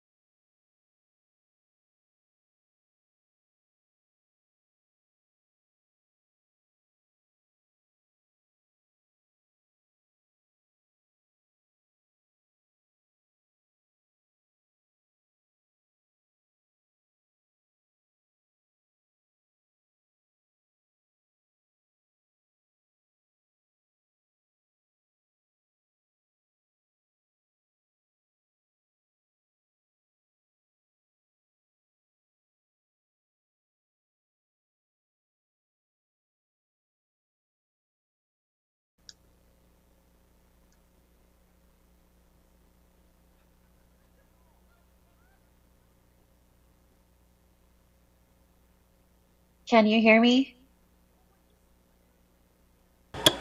Yes, we can hear you. Can you hear us now?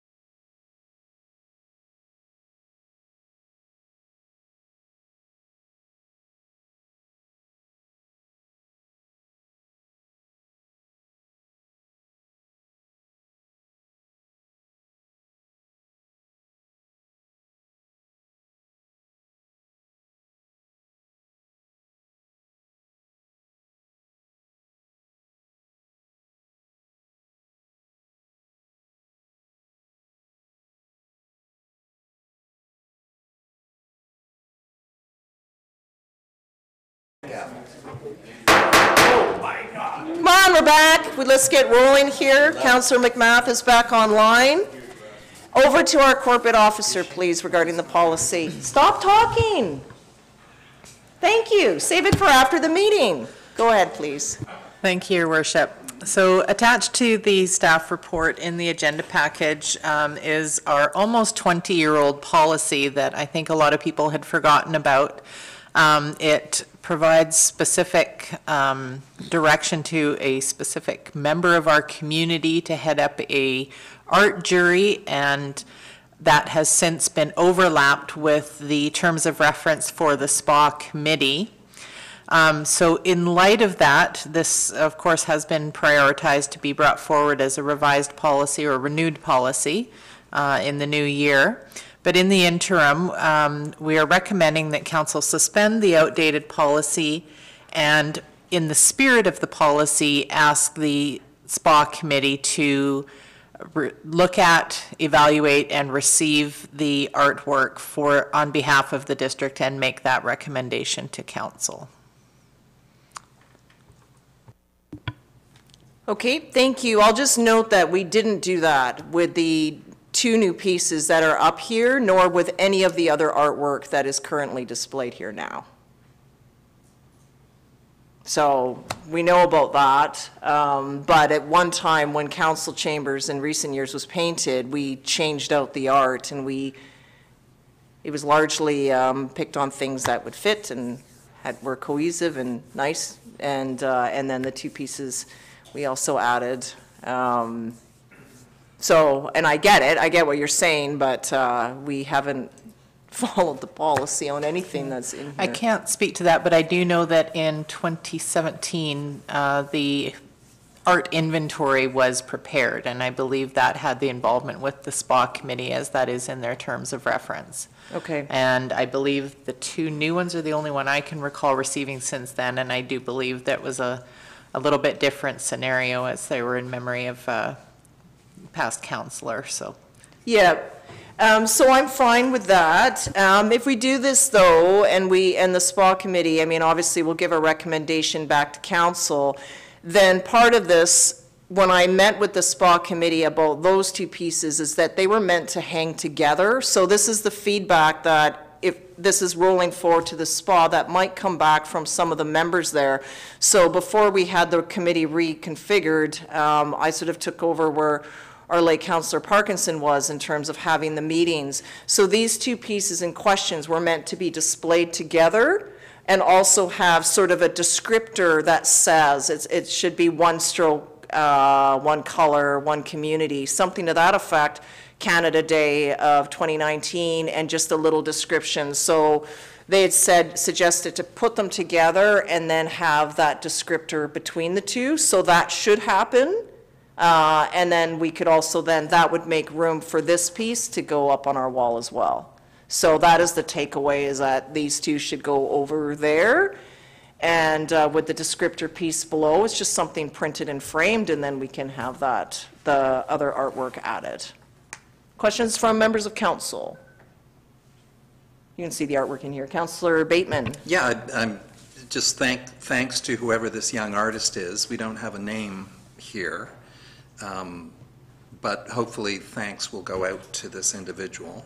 There were several involved in the creation Several, of it. That's yeah. why I thought it's, Yeah. it's several Sooke Yeah. area youth And I look doing it forward to together. it replace, perhaps, you know, swapping out a few of these, um, which have been up here forever, and this, this is a modernist or postmodernist or s- something, um, beautiful piece of art. I also just wanted to note that there are two more days left in this auction by the Sooke Fine Arts Society for three uh, paintings that come from that youth exhibit, including one that features Suki Sam. And, um, yeah, thank you to Sooke Fine Arts. Ms. Moore. Yeah. Questions, others from members of council? So the recommendation here is that council refer the acceptance of the Sooke Fine Arts Society recently gifted artwork to the Sooke Program of the Arts Committee to make a recommendation on acceptance in the spirit of the Municipal Art Display Collection Policy 2.2. that council suspend the application of municipal art display collection policy 2.2 until a new policy is adopted by council, and that council direct staff to draft a new municipal art display collection policy. We have a mover by Councillor Lajeunesse and seconded by Councillor Logins. Anything on the motion? Councillor McMath, now that you can hear us? Nope. Anything? Nope. Nope. Okay, all those in favor? And that's unanimous. Thank you. Okay, this brings us to 12.3. And this here is um, just following our delegation in the presentation tonight. Uh, This is referred out to all member municipalities. Uh, It does require two-thirds, I believe, of municipalities to endorse it in order for it to pass at the CRD. So now, uh, this is here in front of us. Can I move it to get it on the table? Yep. Yeah. So that is being moved by Councillor Bateman, that council consent to the CRD adopting bylaw number 4468, Capital Regional District Climate Action and Adaptation Service Establishment Bylaw, 2008 Amendment Bylaw number 2, 2021. Moved by Councillor Bateman and seconded by Councillor Bateman. Uh, Pardon me, moved by Councillor Bateman and seconded by Councillor Beddows. Did I say that twice? I thought I heard it twice. Good. Wow. Go ahead, Counselor Bateman, with the microphone on.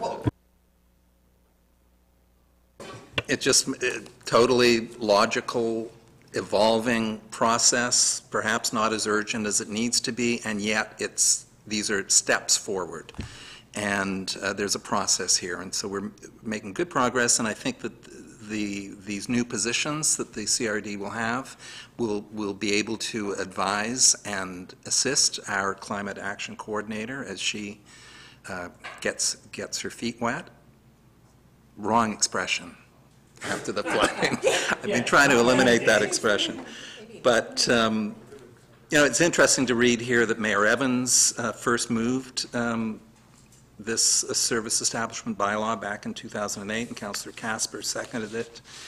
And, um, yeah, and, and I think that one key point I wanted to make, and it's, it's a minor one, you know, we've indicated in the staff report that the um, increase to the average Sooke household will be uh, $7.61. um, And that's based on the CRD average. I think in Sooke, given our average house assessment is around, was around 530 last year, it would be more likely this would cost us about $5.50 or 60 cents per household as a requisition lift. The end. Depends on how assessed values jump, so, Right, exactly. yeah, maybe we'll say based on last year. Based on last Yes. thank you. Okay. Other comments? Counselor Beddows is a seconder? Yeah, I, uh, I really did enjoy the presentation. Um, There was a couple of key things that he said there, and that was, uh, you know, be careful not to get too far ahead of ourselves, uh, that we need to act in unison. And unfortunately, and uh, I understand some of the councilors concerned about not going far enough, uh, you know, we sort of have to go in unison with the province and the feds.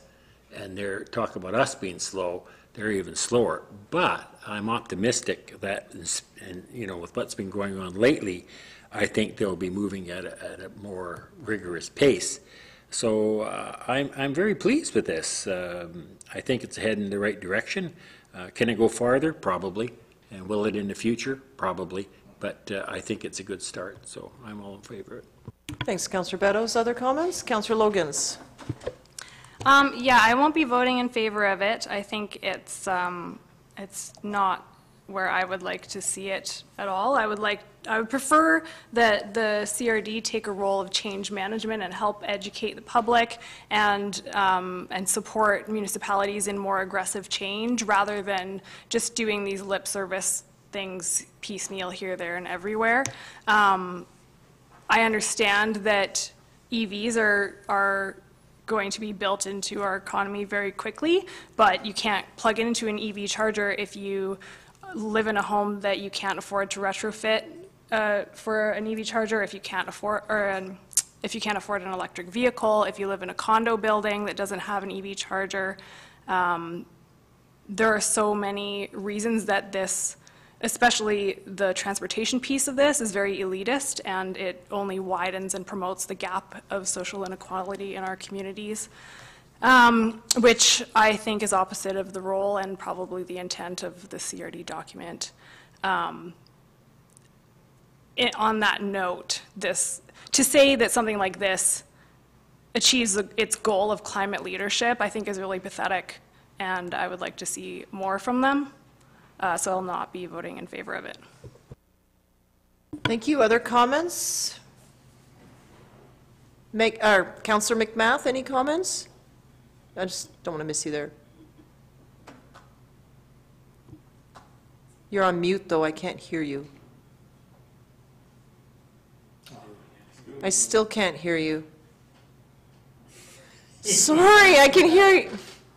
I can see you. Can you hear me? I think so. I just can't hear you. She can call me, and then I'll put my. Oh, that's a good idea. Do you want to phone Counselor Logins? Yeah. Okay. Where there's a will.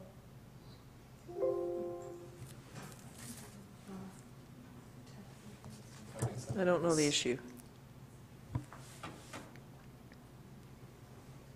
Who is she phoning? Here it is. Oh, here we go. Can you hear me? Hold on, I'll turn you up. Put her on speaker. I think, go ahead, give it a test. Can, can you hear me? Yes. Okay. All right. Um, I have mixed feelings.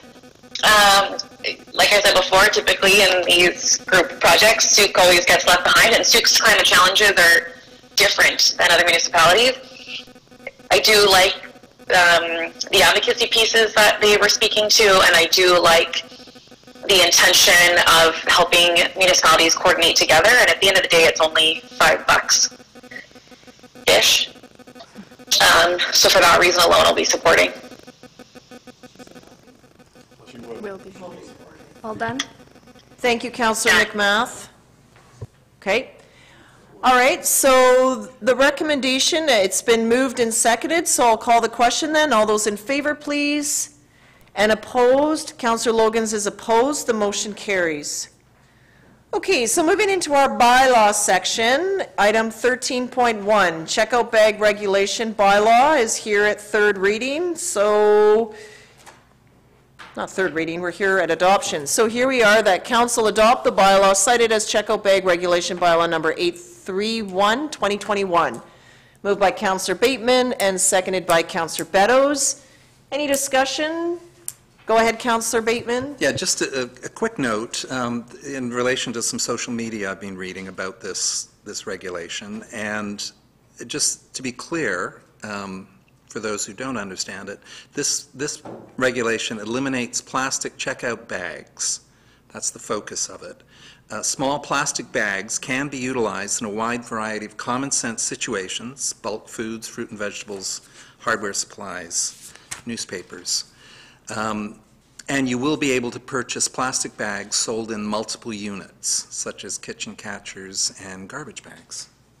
So, Yes, and we know many of our local businesses have already trans, begun their transition, and then COVID kind of threw all that out, and we couldn't bring our bags in anymore, and now some are starting to bag in your bag, and others require you to still bag. It's just the, re- it's just the way it is, and we can do this. We can bag our groceries, I'm sure we can. Let's help out our frontline workers here.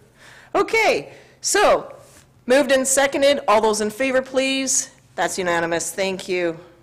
Okay, 13.2, five-year financial plan bylaw number 826. I was a bit puzzled about this, because aren't we meeting to deal with this tomorrow?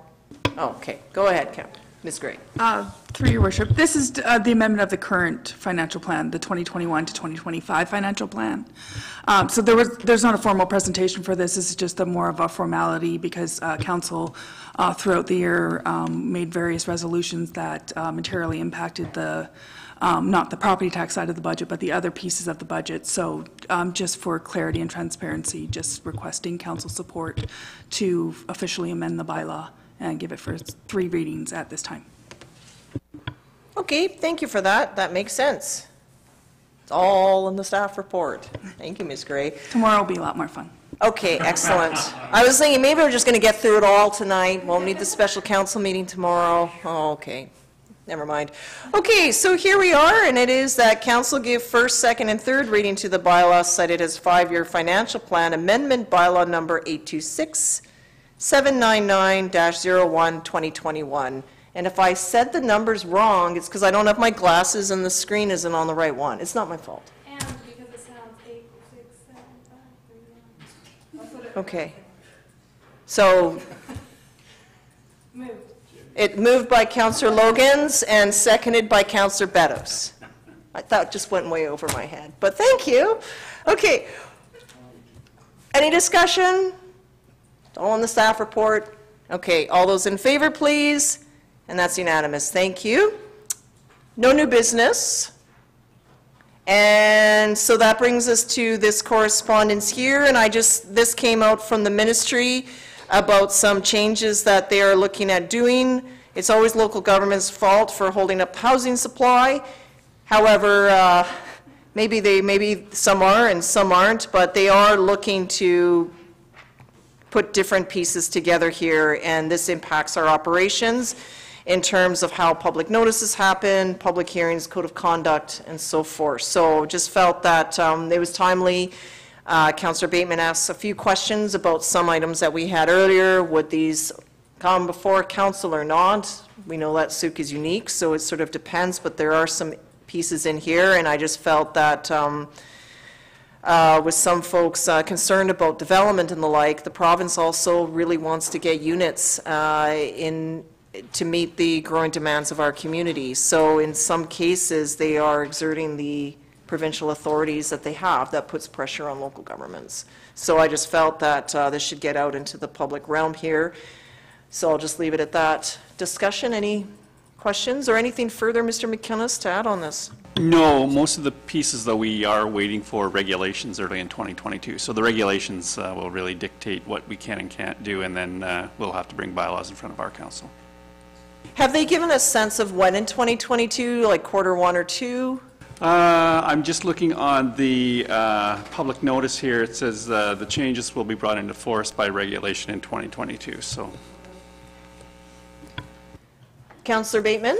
Yeah, so I think Sooke deserves a bit of credit for the first item, which is the public notice. Um, It was Britt Santowski first brought this to, to council, and then we put through a, through a resolution to AVIC, and here it is, three years later, coming through, so that uh, we as a district get to determine how we, we promote, um, as, uh, currently strictly through the Sooke News Mirror. Then the code of conduct is, is fascinating, and um, councils are being asked to, you could probably speak to that. I'd like to hear more, because under your watch at UBCM, I think that came forward. But the one that interests me is this public hearings for zoning amendments. And um, as I understand it, there will be no need for public hearings for zoning bylaw amendments that are consistent with the OCP. And However, local governments um, do have the option to hold a public hearing on a zoning bylaw that is consistent with the OCP if they choose. Um, So I, I understand at the Land Use and Development Committee meeting, there was, it was quite a a lively conversation. So through you to Mr. Palo, could you give us a summary of the kind of feedback you heard? Specifically to the public hearings portion? I think you mentioned that that was a significant conversation. Uh, Perhaps significant in the sense that um, just getting a better understanding from the province as to what the intent of this change uh, entails, because currently, uh, we have the ability to waive the requirement for a public hearing if it's consistent with the official community plan. Uh, The way that we are interpreting these changes is that uh, by default, a local government is not required to hold a public hearing. So the essence of what is trying to be accomplished uh, still remains, the ability to not hold a public hearing on a zoning bylaw amendment.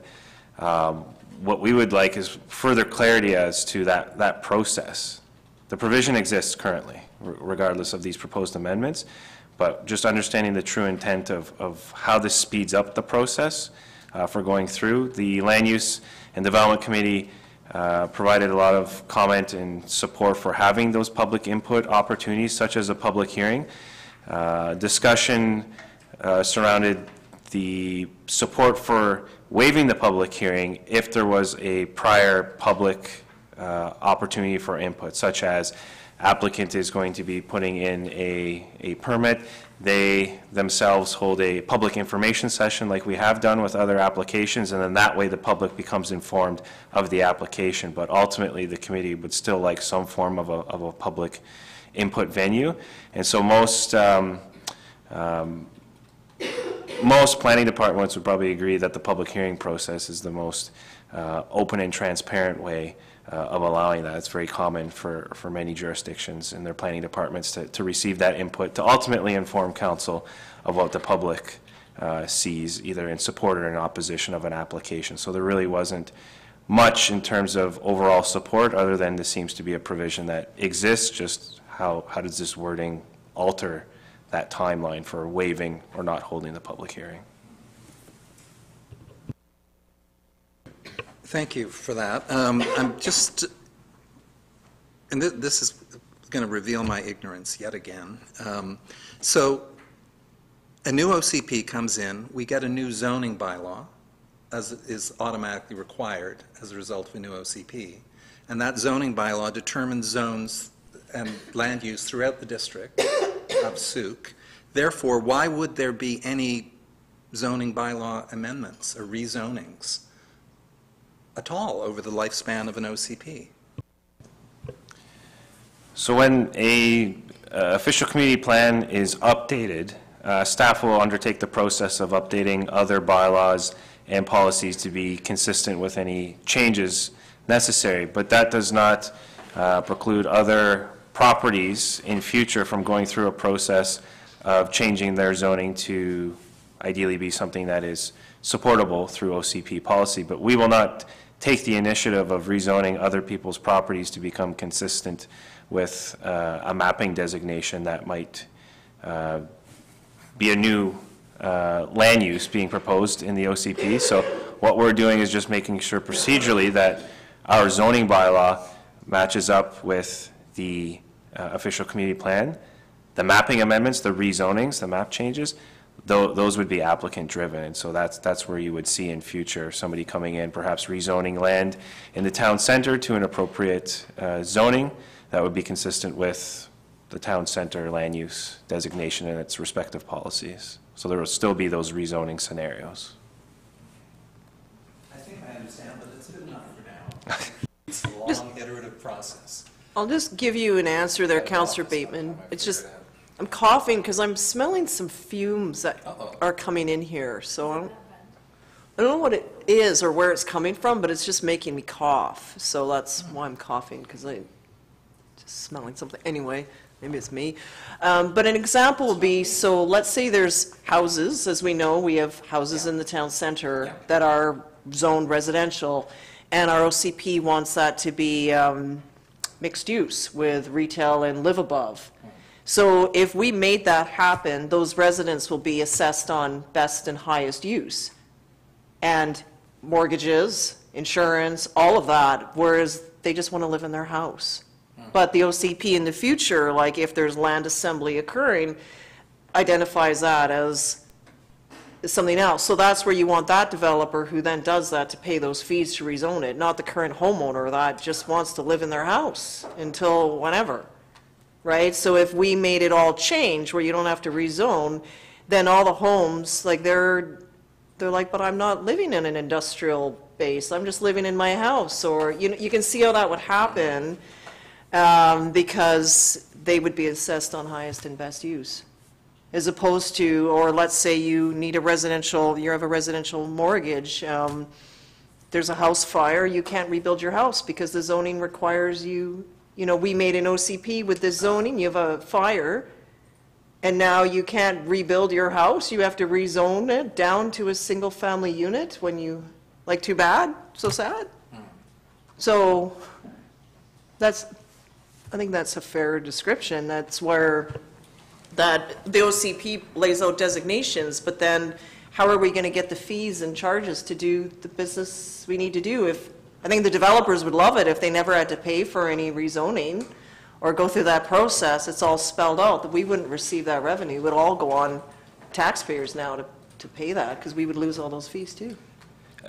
Another critical piece is the ability to register covenants prior to the adoption of, of that zoning change. So that's where we have the opportunity to implement the necessary uh, procedures through the development permit or the building permit stage to require that applicant to provide amenities, land acquisition components, whatever is decided uh, at staff or ultimately uh, requests of council through the public hearing process to then require that as a covenant piece.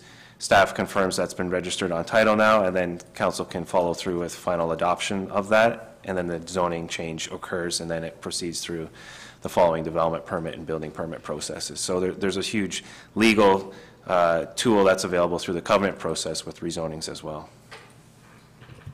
And then lastly, with this, Counselor Bateman, so this is sort of the work of, you know, with UBCM, it's representing all 189 local governments. So sometimes it's hard to see our local government in this, when it's a response to all local governments with a diverse range of issues around the province. And so what it shows is that the province is, is listening and wanting to work with us. So in some areas, when there was a lot of discussion around, you need to get the housing supply flowing, and I'm saying, we're doing it, we just need to catch up the infrastructure. So it's not really fair to point at us. Whereas other local governments would say, well, we're trying to, but every time we have a public hearing, everyone shows up and they shut it down. And if we don't, then they throw everyone out of office who listens, and then they can never get anywhere. So in, in some communities, that's an issue. That's a barrier, or those elected officials are saying that that is a problem in their communities. It may not be in ours, but it is in other places. In terms of the code of conduct, it came out of a lot of discussion around responsible conduct. Uh, We're doing well, I think, uh, governing, working well with administration. Uh, Hasn't always been the case here, and certainly in, in some jurisdictions, they don't want to come back in person because they didn't get along before COVID, during COVID, and certainly not after COVID. I hear of people physically assaulting each other in camera meetings. And a lot of just despair, and good people are like, no more of this, and others are saying, I don't know on any more of all. So that's happening. It's been a tough time, uh, and I'm proud of the work that we're doing here together a- and staying together and working together. That isn't the case elsewhere. And uh, so part of it is, okay, what can the province do? Well, in some cases, they're limited. This is people, and it's all of that together. You can offer education, people don't go. You can say you need to do these things, nobody goes. You can hear sign a code of conduct, well, last council did this, whatever, it doesn't mean anything. Well, now they wanted to actually have some strength in this, which is why this is occurring. And it has to, you know, if we do it, the next council, and, and next council could say, oh, that doesn't represent us, we don't like it.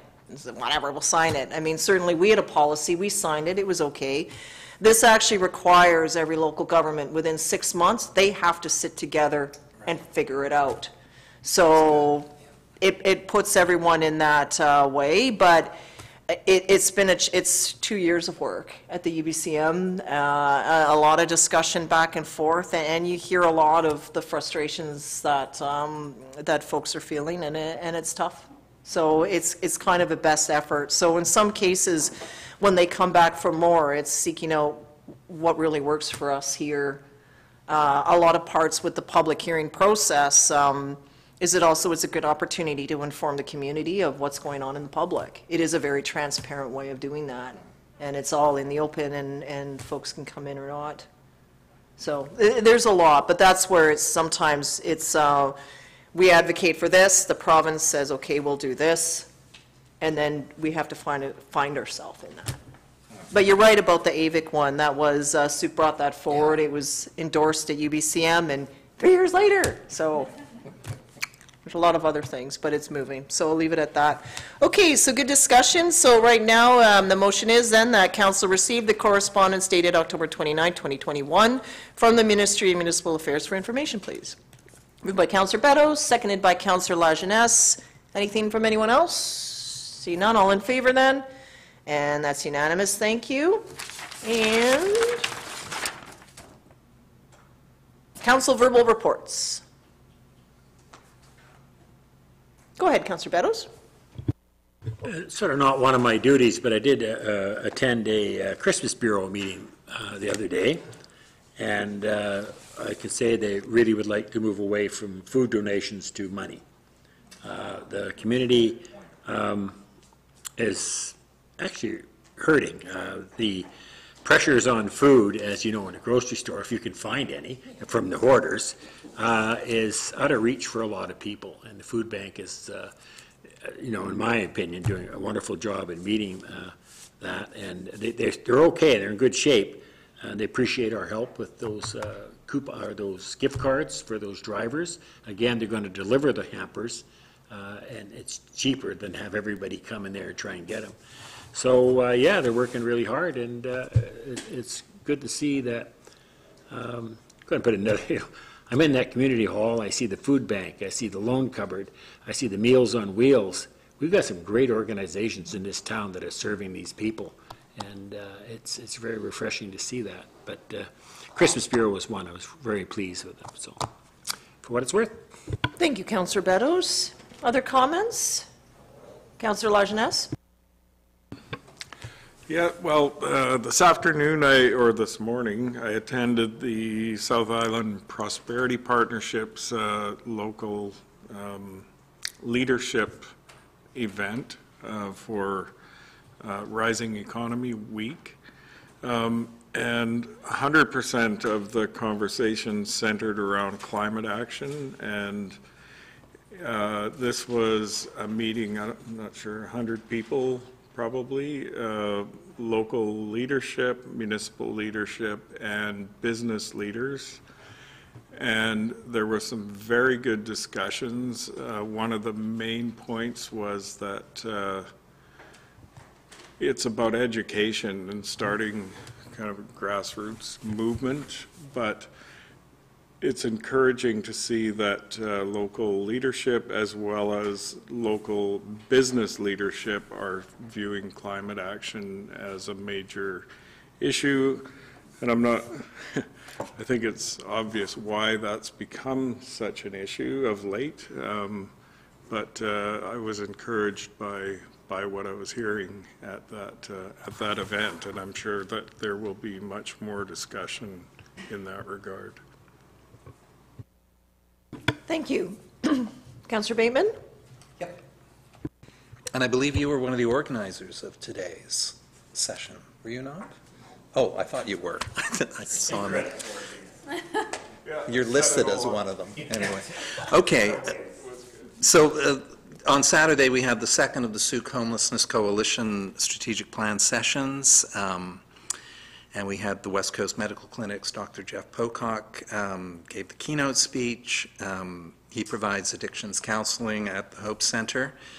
And then we got busy identifying actions in five specific areas. Um, Turnout this time is about 25 individuals, including our CAO, Norm McInnes, who, who was there at the first session and the second session, and I've just been transcribing some of the session um, actions on um, uh, collaboration and leadership, and, and Mr. McInnes came up with some really wonderful ideas. Um, Yeah, so, so, yeah, I won't go any further on that, that we'll be reporting out with, uh, with those recommendations. Um, One of the key things is, is peer support and engagement by a new acronym for me, PWLLE, which is People with Lived and Living Experiences. So at the, at the session, we had, um, I think, two or, two or three people who, who, one guy was living in his SUV, He's a former government employee and lost his job recently and can't afford rent, so he's in his SUV and he was parked in the Baptist church parking lot and he popped in and we welcomed him. And he, he, you know, the realities people are facing. Another guy's been living under the bridge and uh, now is tenting near the Hope Center so that he can access services. But the Hope Center, of course, the 33 uh, spaces they can, they can fill are filled So he's hoping, I don't know, I guess it's day to day for so many of these people, and it's good that uh, this group of citizens and frontline workers primarily were in the room on Saturday, and they've, they've got some great ideas that require funding, energy, time, resources, and all the rest of it.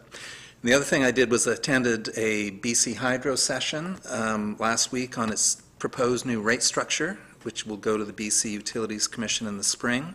Basically, they want to eliminate the two, two-step program, which, um, you know, if you're using a lot of energy, you're going to pay more for it, and reintroduce the flat rate for all BC Hydro customers, along with a new wrinkle of time-of-use rates, so that people are shifting away from the peak period, 4 PM to 11 PM, and plugging their EVs in, for example, before bedtime, um, rather than when they return from work. And the intention with this, back to climate action, is to promote energy conservation and encourage more people to make the switch to heat pumps and EVs, um, which will generate larger, larger bills, so hence the flat rate. Um, Yeah. So, that's it. That, that'll be coming forward with lots of media coverage in, in the coming months. Thanks for sending that. That was an interesting read. Yeah. Yeah, thank you for sending those details, Counselor Bateman. It's a bit worrisome because for families and those working, 4 to 11 is your peak time. You know, it's like, okay, I'll fire up the, lo- you know, it drives my household crazy, maybe others too, maybe it's just my house, but I start both the, the laundry and the dishwasher before we go to bed. Like, nobody can sleep with all of that going on, and they're pretty quiet appliances, so you try to find other times to do it, but sometimes, I don't want to do the laundry, like, you got to get stuff ready for kids to go to school the next day. Like, it, it's, it's tough, right? Um, yeah, especially for those working, that, you know, you come home and you need to do all these things, Yeah. No question. you know? However, there is this time of use, as you say, and, you know, we have to question our privileges a little more as we move forward d- to deal with, with this climate emergency. I suppose, but Yeah, people can I only afford suppose. so many pieces of clothing and so many Oh, I know, it's, it's not pairs of easy. sportwear and. But we are in the first world here, That has to shut off their power for Yeah, okay. yeah, Well, that's fine, I hear your point. but yeah. It's yes. fine. Uh, okay. Interesting. So it, basically, we're all gonna pay more for hydro, is what I see, and they have an endless supply as everything is moving to hydro and as the preferred energy choice. So it's interesting that, um, you'd think that the rates would actually come down, but they probably won't. It'd be very mild increase over a five to 10-year period. Right, that was the whole tier one, tier two, smart meter, all that stuff. I remember the protests that we had here in Sooke during EVIC for that, and everything they said then is not played out, but Hmm. thank you for going nonetheless. Okay. I appreciated the information. Yes, It was an we thank you for that. interesting Okay, so moving on, I was uh, very pleased to be at the uh, Legion on Remembrance Day to lay our wreath on behalf of the District of Sooke. Uh, And also, uh, I'll leave it at that. We do have our Santa Parade in the works that's coming, so more details on that to come, I would imagine. And uh, I just want to thank council for uh, just giving me a bit of support here. I am a member of the sandwich generation, so when I look at envy at a minivan, like clearly something's going on. Like usually people don't want one of those, but I think, wow, you can fit a wheelchair, you can fit gear, I can fit, you know, all my family and a dog and groceries in that thing, because right now, it was thanks to Counselor Beddows, I'm trying to pack all this stuff into my little car. I did get it all in there. did well, You know, I was surprised, but uh, it all fit in the end. But trying to fit it, you know, when you have a car seat and you have other things, it, it, it's not easy to fit a lot into a vehicle. Uh, but it is what it is. So just thank you for that. And then with Councillor Lajeunesse, I did go to the Rising Economy uh, Forum for this morning. We left after lunch, and it was my pleasure to introduce uh, Chief Planes, who was our lunch uh, over our uh, keynote just before lunch and he gave a really excellent talk, as he always did. He shared a bit of oral history where he said that elders had spoken of the Thunderbird lifting the orca out of orca and salmon out of the water in uh, years past, and basically what that is is there was a big flooding event here. Uh, is what that is saying, and so elders have warned of this And, and here we are now. So there is so much to learn in, in the Indigenous worldview of, of just understanding what those messages are. He did uh, talk a lot about the messaging to young people and for young people learning to respect natural places and what that messaging means. And also just reminding us that humans are not number one. We're a part of the overall system. We all have our place, but we're not the number one top of the totem pole. In fact, sometimes the humans are not even on the totem pole at all. Uh, He reminded us to take time to walk through the forest, uh, to look at the vegetation and to see the, the various animals, the Shnakwa or the herons as they protect and overlook village sites. And then he also talked about the challenges uh, that they face, the damage done to the territory, uh, and, and their drive to look at seven generations and opportunities for children. So what really struck me in his discussion is every problem they outlined, they've created a solution that creates employment and opportunity and learning for young people.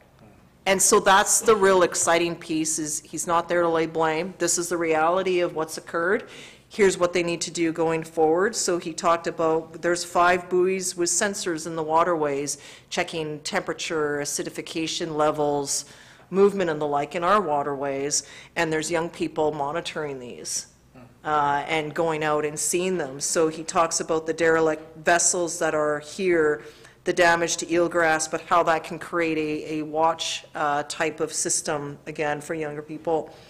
And just the shoreline cleanup where they picked out 20 tons of metal, and I think it was 14 different types of garbage that was identified, several more tons in the past year, oil spill response, and then discussion on um, marine stewardship and, and some further work that they're doing. So I think that's where it's always inspiring uh, to hear and learn from Chief Planes is just how they, they see a problem, they find a solution, and how they're working through it and the opportunities. But he also shared some of their challenges of how they receive just short funding so they can do this pilot or this pilot or this pilot. And it's more longer-term thinking so that these become more permanent things and not just one-time things. So it's, it's an ongoing challenge there, but it was, it was a privilege to introduce him. And uh, earlier in the day, we did hear uh, the mayor of Glasgow had joined virtually, so just um, talked a bit about uh, what's occurred in Glasgow recently. And then we, she shared a little bit that struck me on how do you get folks to, um, uh, to be climate leaders. So number one, make it easy. Uh, Number two, people need to see the change to believe it. So they talked a lot about putting employment in workplaces near the people, and then they talked a bit about stick measures. So they used London as an example where they implemented a congestion toll. Uh, So yes, you can drive through London, but you're going to pay to do it, and that toll then goes directly into funding public transit. And the focus is on the health of the people, because they shared that the air quality for children and with all of that in London was, um, the asthma rates were extremely high, and the impact on school children. So that was the approach. Um, She did share that Glasgow doesn't have that stick, but it's certainly pieces that they're looking for. So it was wonderful that she was able to join us virtually in that way, and uh, appreciated Councillor Lajeunesse driving, because it was his fuel and not mine, but thank you. It just makes me worried when you know, like, you know, I have a household, I need a father who may need emergency services, I don't want to have to worry about finding gas. Like, it, it's really, Isn't that something, the first time in my life, a lot older than most of you, I've never seen gas stations run out of no, and I was fortunate to fill up when I did, but it's, uh, okay, you know, and I have a small car, it probably take, it doesn't take 30 liters, so it's probably have, fill it up anyway, but it, it is a tough time, and I did pitch there to all the employers that were in the room, let your employees work from home right now. It's ridiculous, in some places, we have, just getting the dialogue, some employees have to go over the Malahat every day and punch in. Uh, and the Malahat was shut again today. So imagine the stress that puts on people. So I'm glad that we're having some flexibility here, and I certainly hope that some in the core, it picked up some traction on Twitter, are listening, because right now, people just need a bit of a break. And if they can work from home successfully, they should be able to do it. Forcing folks to come in and out in these uncertain times is just, it actually just makes me very angry. How well are you going to function at work when you're that stressed getting there? And you're getting up at 5 o'clock to plan your day? And that's a long day. You're not getting home till close to 6 or 7 at night. And that is life for commuters in Sooke right now, and it's awful. So I'll stop talking about it. Okay. On that note, motion to adjourn, please. Moved by Counselor Beddows. Sorry, Seconded may by I? Counselor Sorry. Lajeunesse. Oh, sorry, on, I point missed of you, order. Counselor McMath. Where are you? Oh that's okay. I'm somewhere. I can't even see you. God, that is a really close up. You're like on the big screen now, all of them. Too much. Okay. um, just really briefly, I on uh, November 18th went to the emergency management conference call uh, with the four ministers, and uh, it was just a brief update for the provincial state of emergency from the weather situation. And one of the takeaway pieces, which you were just touching on, was how essentially the impact of media created that gas shortage.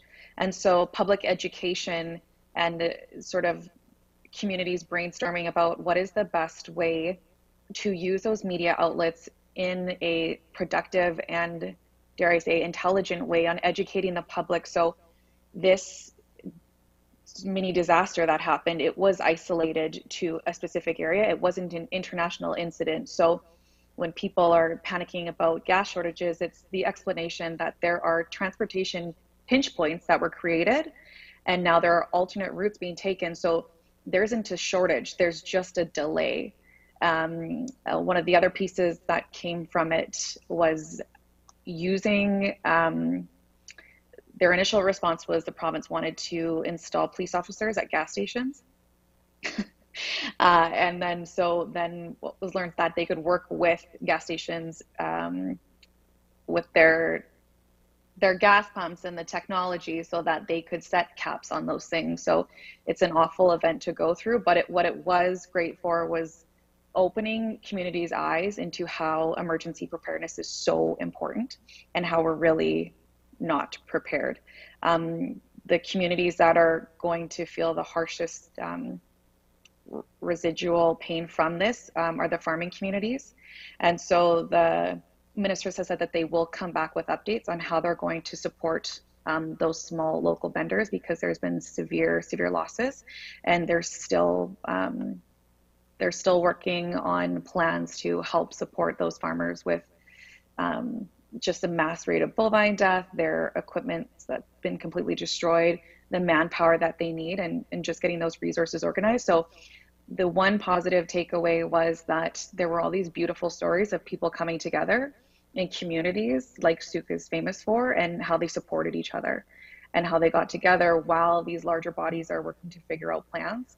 Um, so there were some really beautiful stories out of that. Um, but definitely takeaway piece is public education when there are times of stress and Facebook is notorious for creating that negative sensationalization of things that are not entirely accurate. So that was a, a takeaway piece that perhaps in the future we can look at working with our media outlets to to just educate our community on what's really going on. Thank you for that, Counselor McMath. And I'll just add, because, um, you know, I came home and I had to do some shopping, and as I, and I, I stopped in a few places, and I could feel the tension that uh, people were going through that day. And when you start chatting with people, because I was in the checkout line for over an hour, uh, many were the case where, and I kind of wonder myself, is there's sales right now, so while we can, we're going to save some money on, groceries are expensive, as Counselor Beddows has said, they have gone up. And the concern for many is that, okay, right now, these are the prices, they're going to jack them next week. So some people were buying more just to save money in the future for what may be a forecast, because you're hearing of pricing increases. Uh, So there is certainly a reason I was motivated to buy things that I could on sale, because I can save some money right now, because everything is going up in price, and people are not making more, we're all just doing more with less, uh, have to pay out more with less. So a lot of that was people stocking up and taking advantage of sales, um, and right now getting a break, because everything's costing more money. Just on a side note, uh, with the Christmas Bureau, they may not have turkeys this year. Yeah. They'll, they'll give food, but Yeah. uh, with the Lilydale factory in uh, Lower Mainland and all those turkey farms that uh, Counselor St. Pierre and I went and saw, uh, drowned a lot of birds. I found out that many in my family don't actually like turkey. After all this time! Anyway, back to our motion to adjourn. I believe it's been moved and seconded, so thank you for, for that, Counselor McMath. Glad we could hear you there. You continue to be safe, and thank you for all you're doing, as well as everyone else here and all of our businesses. Uh, Many are like, no, we're, we have gas, we're selling it at regular price, we're not gouging, they've been communicating out with the customers, and many residents banding together. Uh, it- It's just remarkable, so thank you to all. Call the question on adjournment, all in favor? That's unanimous. Have a good night, everyone, and we'll see you tomorrow at 6 o'clock. It's sick.